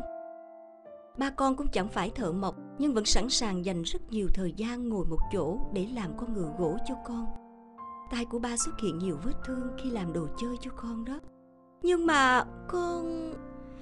Nào, bình tĩnh, nghe mẹ nói hết đấy nào. Khi mà ba con đã dành tình yêu thương để làm con ngựa gỗ cho con, thì con đã làm gì? Con vứt nó xuống sàn đúng không? Như vậy là con còn không thương ba, không trân trọng tình yêu mà ba đã dành cho con rồi. Mẹ muốn con trai của mẹ là một em bé ngoan, biết cảm ơn và trân trọng tình yêu thương mà mọi người dành cho mình. Con xin lỗi mẹ, con biết lỗi rồi ạ. À. Vậy bây giờ con biết phải làm gì chưa? Dạ rồi ạ. À. Dưới gốc cây xoài sau vườn, ba Hoàng đang cẩn thận dùng búa và đục tỉ mỉ sửa lại con ngựa gỗ. Chốc chốc lại lấy tay quệt những giọt mồ hôi trên trán. Dù vừa rồi Hoàng đã vứt con ngựa xuống sàn, nhưng ông không hề la mắng mà kiên nhẫn nhặt lên và mang đi sửa lại. Tình yêu mà ba dành cho Hoàng thiệt lớn lao, nguyện làm mọi thứ cho con mình. Ba ơi, con xin lỗi ba Vì hồi nãy con đã không ngoan Ba tha lỗi cho con nha ba không sao đâu, mặt trời nhỏ của ba. Nào, tới đây coi coi chiếc đuôi ba vừa làm đủ to chưa nào? Sao ba gọi con là mặt trời nhỏ thế hả? Vì ba rất yêu con. Dạ, con cũng yêu ba nhiều lắm. Con ngựa gỗ của ba con tuy không đẹp như những con ngựa khác Nhưng trên đời này chỉ có duy nhất một con mà thôi. Và nó được làm từ tình yêu mà ba dành cho con. Vì vậy đó chính là món đồ chơi mà con yêu thích nhất. Sau khi nghe hoàng kể lại câu chuyện, tiếng vỗ tay của các bạn vang lên. Ai ai cũng muốn có một món đồ chơi giống như vậy. Nhìn con ngựa gỗ trên bàn, hoàng cảm thấy thật tự hào và hãnh diện. Đây là món quà vô giá, là tất cả tình yêu thương của ba, mà không gì có thể thay thế được. Món đồ chơi dù đẹp hay xấu thì nó luôn chứa đựng tình yêu thương mà ba mẹ đã dành tặng cho mình. Phải biết quý trọng bởi nó không đơn giản chỉ là một món đồ vật mà hơn cả chính là giá trị tinh thần mà chúng mang tới chiếc vòng cổ của cá heo con cáo khỉ và voi cùng nhau đến một bãi biển trong xanh để vui chơi trong khi khỉ và voi đang nô đùa dưới biển thì cáo thấy chán nản đi lên bờ tìm trò chơi mới. Đang dạo biển thì cáo phát hiện một sợi dây nhựa màu đỏ khá dài và to, trông rất đẹp. Sao sợi dây này lại nằm ở đây ta? Ừm, để coi nào. À đúng rồi, chắc trò này sẽ vui lắm đây. Voi ơi, khỉ ơi, lên đây mình có trò này hay lắm, lên đây lẹ đi. Từ xa thấy vậy, voi và khỉ vội vàng lên bờ, Hai bạn rất tò mò xem cáo sẽ làm gì mà trông bạn ấy rất phấn khích. Cáo ơi, trên tay cậu cầm cái gì thế? Cậu lấy nó đâu vậy? Ở đó kìa, mình vừa nảy ra một ý là giờ chúng ta cột nó lại thành hình tròn. Rồi voi sẽ làm trọng tài, dùng cái vòi của cậu ấy treo nó cao lên. Mình và khỉ sẽ thi nhau, coi ai nhảy được qua vòng tròn này nhiều hơn nha. Ai nhảy được ít hơn thì lát nữa phải ở lại dọn sạch sẽ đồ ăn, vứt rác rồi mới được về nha. Voi và khỉ thấy trò chơi này khá thú vị nên đồng ý tham gia. Với lợi thế leo trèo của mình, nên khỉ liên tiếp nhảy qua vòng tròn, còn cáo lấy đà mãi mà chẳng nhảy qua nổi. Thôi, mình không chơi nữa, mọi người vào ăn đi, để lát nữa mình còn dọn. Nghe vậy, khỉ và voi cũng không dám lên tiếng vì biết cáo đang buồn. Cả ba ăn xong, trong lúc đợi cáo dọn dẹp, khỉ và voi chạy xuống biển nô đùa tiếp. Trong lúc voi và khỉ không chú ý, cáo đã gom hết tất cả đồ ăn, chai, dĩa, chén làm bằng nhựa. Gom vứt hết xuống biển như thế này, dọn vừa nhanh vừa sạch, mình lại không bị mệt chút nào. Còn ai thông minh hơn cáo mình đây? Cũng tại nó mà mình bị thua, giờ phải dọn dẹp hết đống đồ ở đây. Tránh ra chỗ khác đi, thiệt là vướng víu mà.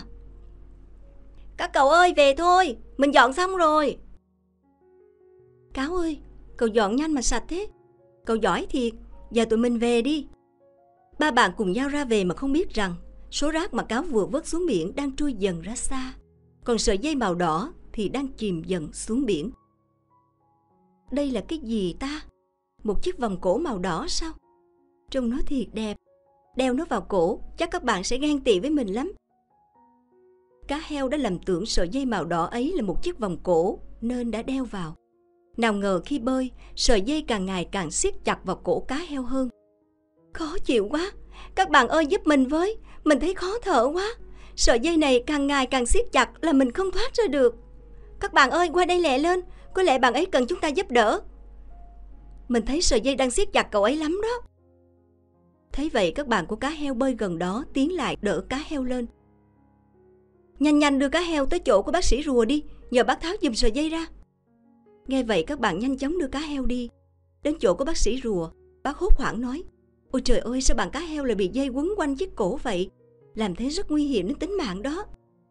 Các bạn của cá heo kể lại cho bác sĩ rùa mọi việc diễn ra hồi nãy. Mau đưa cá heo vào trong các sợi dây ra đi. Nhớ là các sợi dây thành nhiều đoạn nhỏ rồi vứt đúng nơi quy định nha. Y tá cá ngựa gật đầu, nhanh chóng đưa cá heo vào trong. Các con có biết không, có rất nhiều sinh vật biển gặp nạn bởi các loại rác. Đó là lưới, dây câu, bao bì, dây cao su quấn vào cơ thể của chúng ta làm bị thương, bị ngạt. Nếu không kịp cứu giúp thì cái chết là điều khó tránh khỏi. Dạo gần đây, mức độ gặp nạn này càng ngày càng gia tăng. Vừa rồi có một bạn rùa đã vô tình lầm túi nhựa là sứa biển nên đã ăn vào trong bụng. Mai sao phát hiện kịp thời nên cha mẹ bạn ấy đã đưa đến đây để cấp cứu, gấp cái túi nhựa ấy ra.